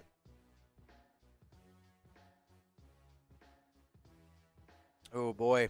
We're getting close to finishing that bottle. All right, what are we at? We are at $209 in super chats. Okay? Here's the deal. Here's the deal. If we can get to if we can get to 300 in supers. I'll finish the rest of that bottle. Let's get it going. What up, Javier? What's up with the Sue Bud? Thanks, Mitch Raiders. What's up with Sue Bud? Oh, um, I was like, what? Sue Bud? What, what are you smoking? Um, personally, hasn't been anything new. I know Ndamukong Suh's interested. I know the Raiders are currently doing their homework at the defensive tackle room. And I know they're doing their homework, I guess, on Ndamukong as well. For the people out there that are reporting that the Raiders aren't currently interested, again, I have heard that the Raiders are interested and that they are don't want to seem over aggressive because that then can, you know, make Ndamukong think that he's going to get a lot more than what he's actually going to get. Let's go to Robin Clarkson. Will the Raiders keep Isaiah Paulo? I can never pronounce his name. Pola-Mao. He's the safety UDFA from USC. Here's what I'll say. Does he have connections to the Raiders? Yes, absolutely, right? No doubt about it. His his uncle, or at least I believe that's what he calls him, Uncle Troy Polamalu. He practices with him. He works with him in the offseason. Also, the Raiders running back coach is Kennedy Polamalu, who is, again, cousins related to Troy Polamalu. He has the connections in that regard. However, Practice squad, yes. I can't sit here and tell you though he's going to make the 53 man roster. There's just, it's not a bad thing. It's just there's other more talented players on the Raiders roster right now. But hey, maybe y'all disagree with me. A lot of you guys probably watch more Pac 12 football than I did. Now, I've watched a lot more tape on him, but I'm also a big believer that you can grow as a player and if you're put in the right scheme and you're put in the right situations because one thing i don't think he's all that athletic but he's a competitor and that dude competes his freaking ass off and not a lot of people thought troy polamalu was going to be all that great oh shit um, and then what ended up happening he continued to work his butt off he continued to play great and then he ended up being well why for yes and for no Will Polamalu make the 53 man? Let's go to Jeff Stanley. What up, my dog? Did you see that Averett was statistically better than Ya-Sin last season. I would say, oh boy, let's go finish it. Buddy Bear, all right, this is about to get into a wild show. Woo, did you see that Averett was statistically better than Ya-Sin last season? Again, what statistics are you looking at? PFF, overall tackles? Because Rock Ya-Sin did have a little bit of a down year. I actually think, though, Anthony Averett was good in 2021, struggled a little bit in 2020.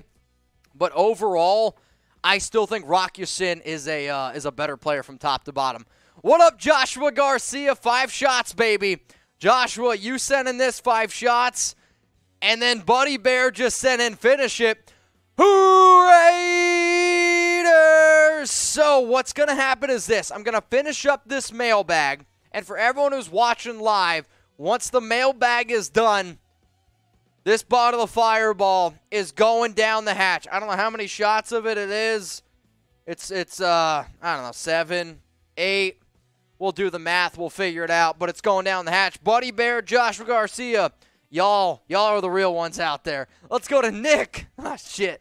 I'm little, I actually didn't think it was gonna happen, man. I'm a little nervous, but I don't know why I doubt the nation. I don't know why. Y'all are the craziest mother effers out there, no doubt about it. I love y'all.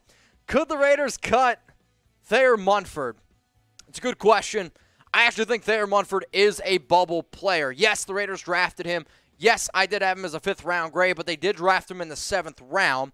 And I don't anticipate the Raiders keeping Brittain Brown, the other seventh rounder that the team ended up keeping or ended up drafting. So could it happen? Yes, and I think it happens if they decide to keep somebody like Alex Bars instead, if they decide to keep somebody like Lester Cotton instead because I do think Lester and Alex Bars are better players right now. However, you're hoping long term Thayer Munford's the better player. All right, y'all, if you want and if you can't tune in live, you can still support the Raiders Report by sending in a super thanks for a shout out. What is a super thanks? On every single video, every single video, there is a heart underneath the videos with a dollar symbol. You can essentially send in a super chat. So if anybody sends in a wild super thanks that sees this later on, I'm not shitting you. If we can get, if I can get a $50 super thanks, which would be the biggest super thanks I ever got, I will start off a Raider show with a beer bong. That's my deal on the table. That's my deal right there. Let's go to Fayez. I hope I pronounced that right, man. I am super dyslexic. It would be amazing to trade Ferrell for nothing. That 11 million cap space opening up would be phenomenal. Here's the issue, though. You don't save 11 million. I'm not quite sure where that number's coming in from. So if you trade Clelin Ferrell's contract, let's first look at it from that standpoint. $9.8 million, okay? If you trade him, you save 4.77. You eat 5.21. So uh, technically you save 4.77. The new team would then have to take on that deal. But yes, if you can get a fifth rounder for Clee, man, I'm all on board for it. Let's go to Raider Dangerfield. What's Bilal Nichols' situation?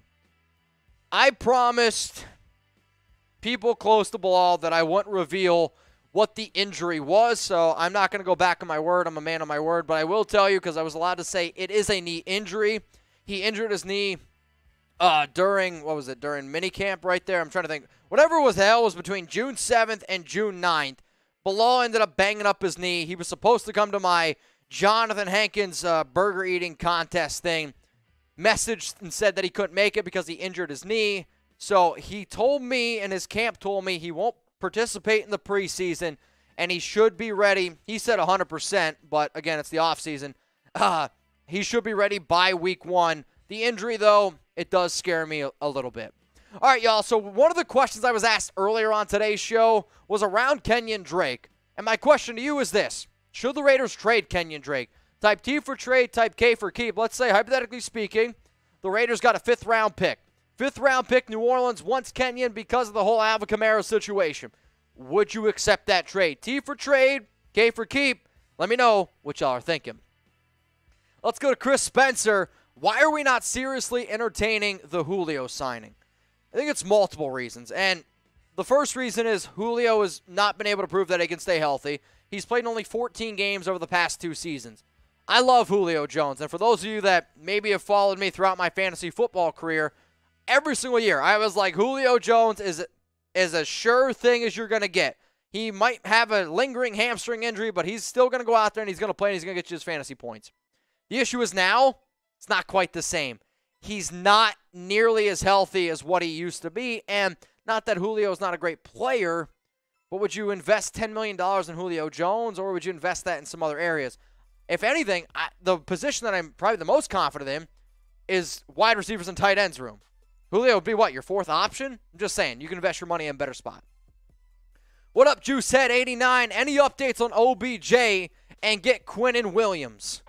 Any updates on OBJ? No. Quinnen Williams, you would have to trade for him. Obviously, Quinnen Williams would be a phenomenal defensive tackle, but uh, as dumb as the Jets are, they're not dumb enough to give up Quinnen Williams. But hey, I like the creative idea. I like the thought process behind it. Let's just face it, though, it's uh, it's not going to happen. Let's go to Raider 508. Drake Clee in a fifth to the Saints for Michael Thomas. Drake Clee in a fifth to the Saints for Michael Thomas. Oh man, I'm just going to respectfully say the the Saints say no really really quickly. I mean, the only way you're getting Michael Thomas, and I get it, dude hasn't played essentially in 18 months, but the Saints paid him a shit ton of money. It's basically a five-year, hundred million dollar deal. Trace, who runs our Saints show right now, just walked in. You got to offer a first. If it's Drake, Clee, and a first round pick for Michael Thomas, they might say yes, but again, Clee doesn't really have any value. Kenyon Drake doesn't have all that much value, and they still want Michael Thomas. So unless a first rounder is involved, personally, my dog, I don't think you're getting them.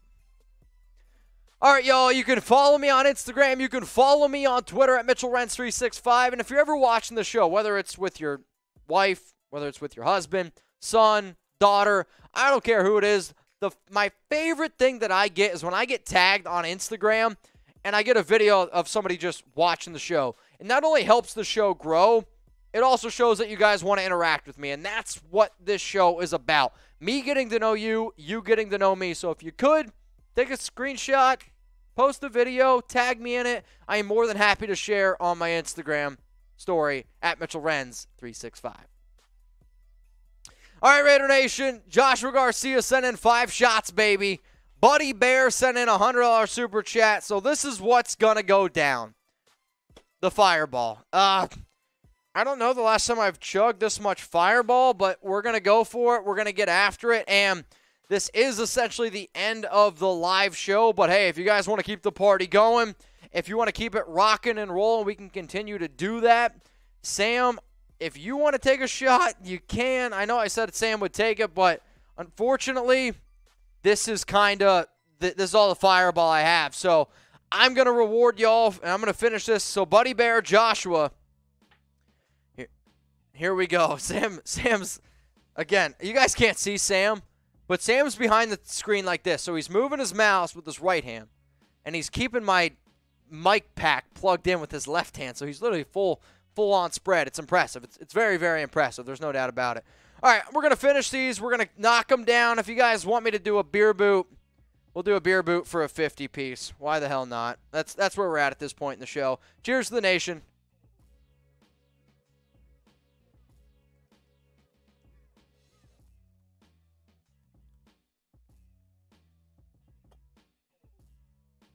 Oh, man, that was not easy. Hang on a second. I always wonder when the random person that comes across the show and sees what the hell we're doing, they're like, "What the hell is this guy doing?" I don't I don't really know. I also know this. I didn't eat anything before the show cuz I didn't quite anticipate this. So, you're going to get a little bit of a tipsy guy, so if you want to see the tipsy going, oh, We can uh, we can keep it rocking and rolling here. So that's gonna be the end of the live show unless we get more super chats or you hit up the Venmo at Mitchell Renz three six five. Remember, the Raiders report goes live every single Tuesday at 6 p.m. Eastern time, 3 p.m. Pacific. I try to keep you guys up to date. This video is getting right now ready to go to loop. Major shout out to Joshua Garcia. Major, major shout out to Buddy Bear, Patrick B, Daniel Topchi, Daniel Keenan, anybody that sent in a super chat today. Also to the people who, I get it, not everyone can send in a super chat, but if you're watching the show in middle of June, I I appreciate you guys. I know I'm kind of a clown sometimes. I do weird shit here and there, but I do this show because I'm dedicated. I got that commitment to excellence. Hopefully you guys see that on a daily basis because I'm making videos, probably more videos than anyone in the world right now. But I also know that you guys are committed as well. So we have fun, but we have fun because we're also very serious. So please hit that subscribe button. Make sure you like the video because coming up right now here on Loop, we are going to get into the latest rumors. We're going to talk about a Clelin Ferrell trade. We're going to talk about Derek Carr. My man feels disrespected. We're going to look at Tyron Johnson. Is he going to end up making the team? I don't know. We got two mailbags. And then, oh, man. Honestly, that tastes like mouthwash. I don't even need to brush my teeth tonight after all that fireball. 10 surprise cut candidates from Paul Gutierrez's 53 man roster projection video. You guys were a hell of an audience. I appreciate y'all. I'm getting out of here. Much love to the nation. And coming up right now, the latest news and rumors around the Las Vegas Raiders.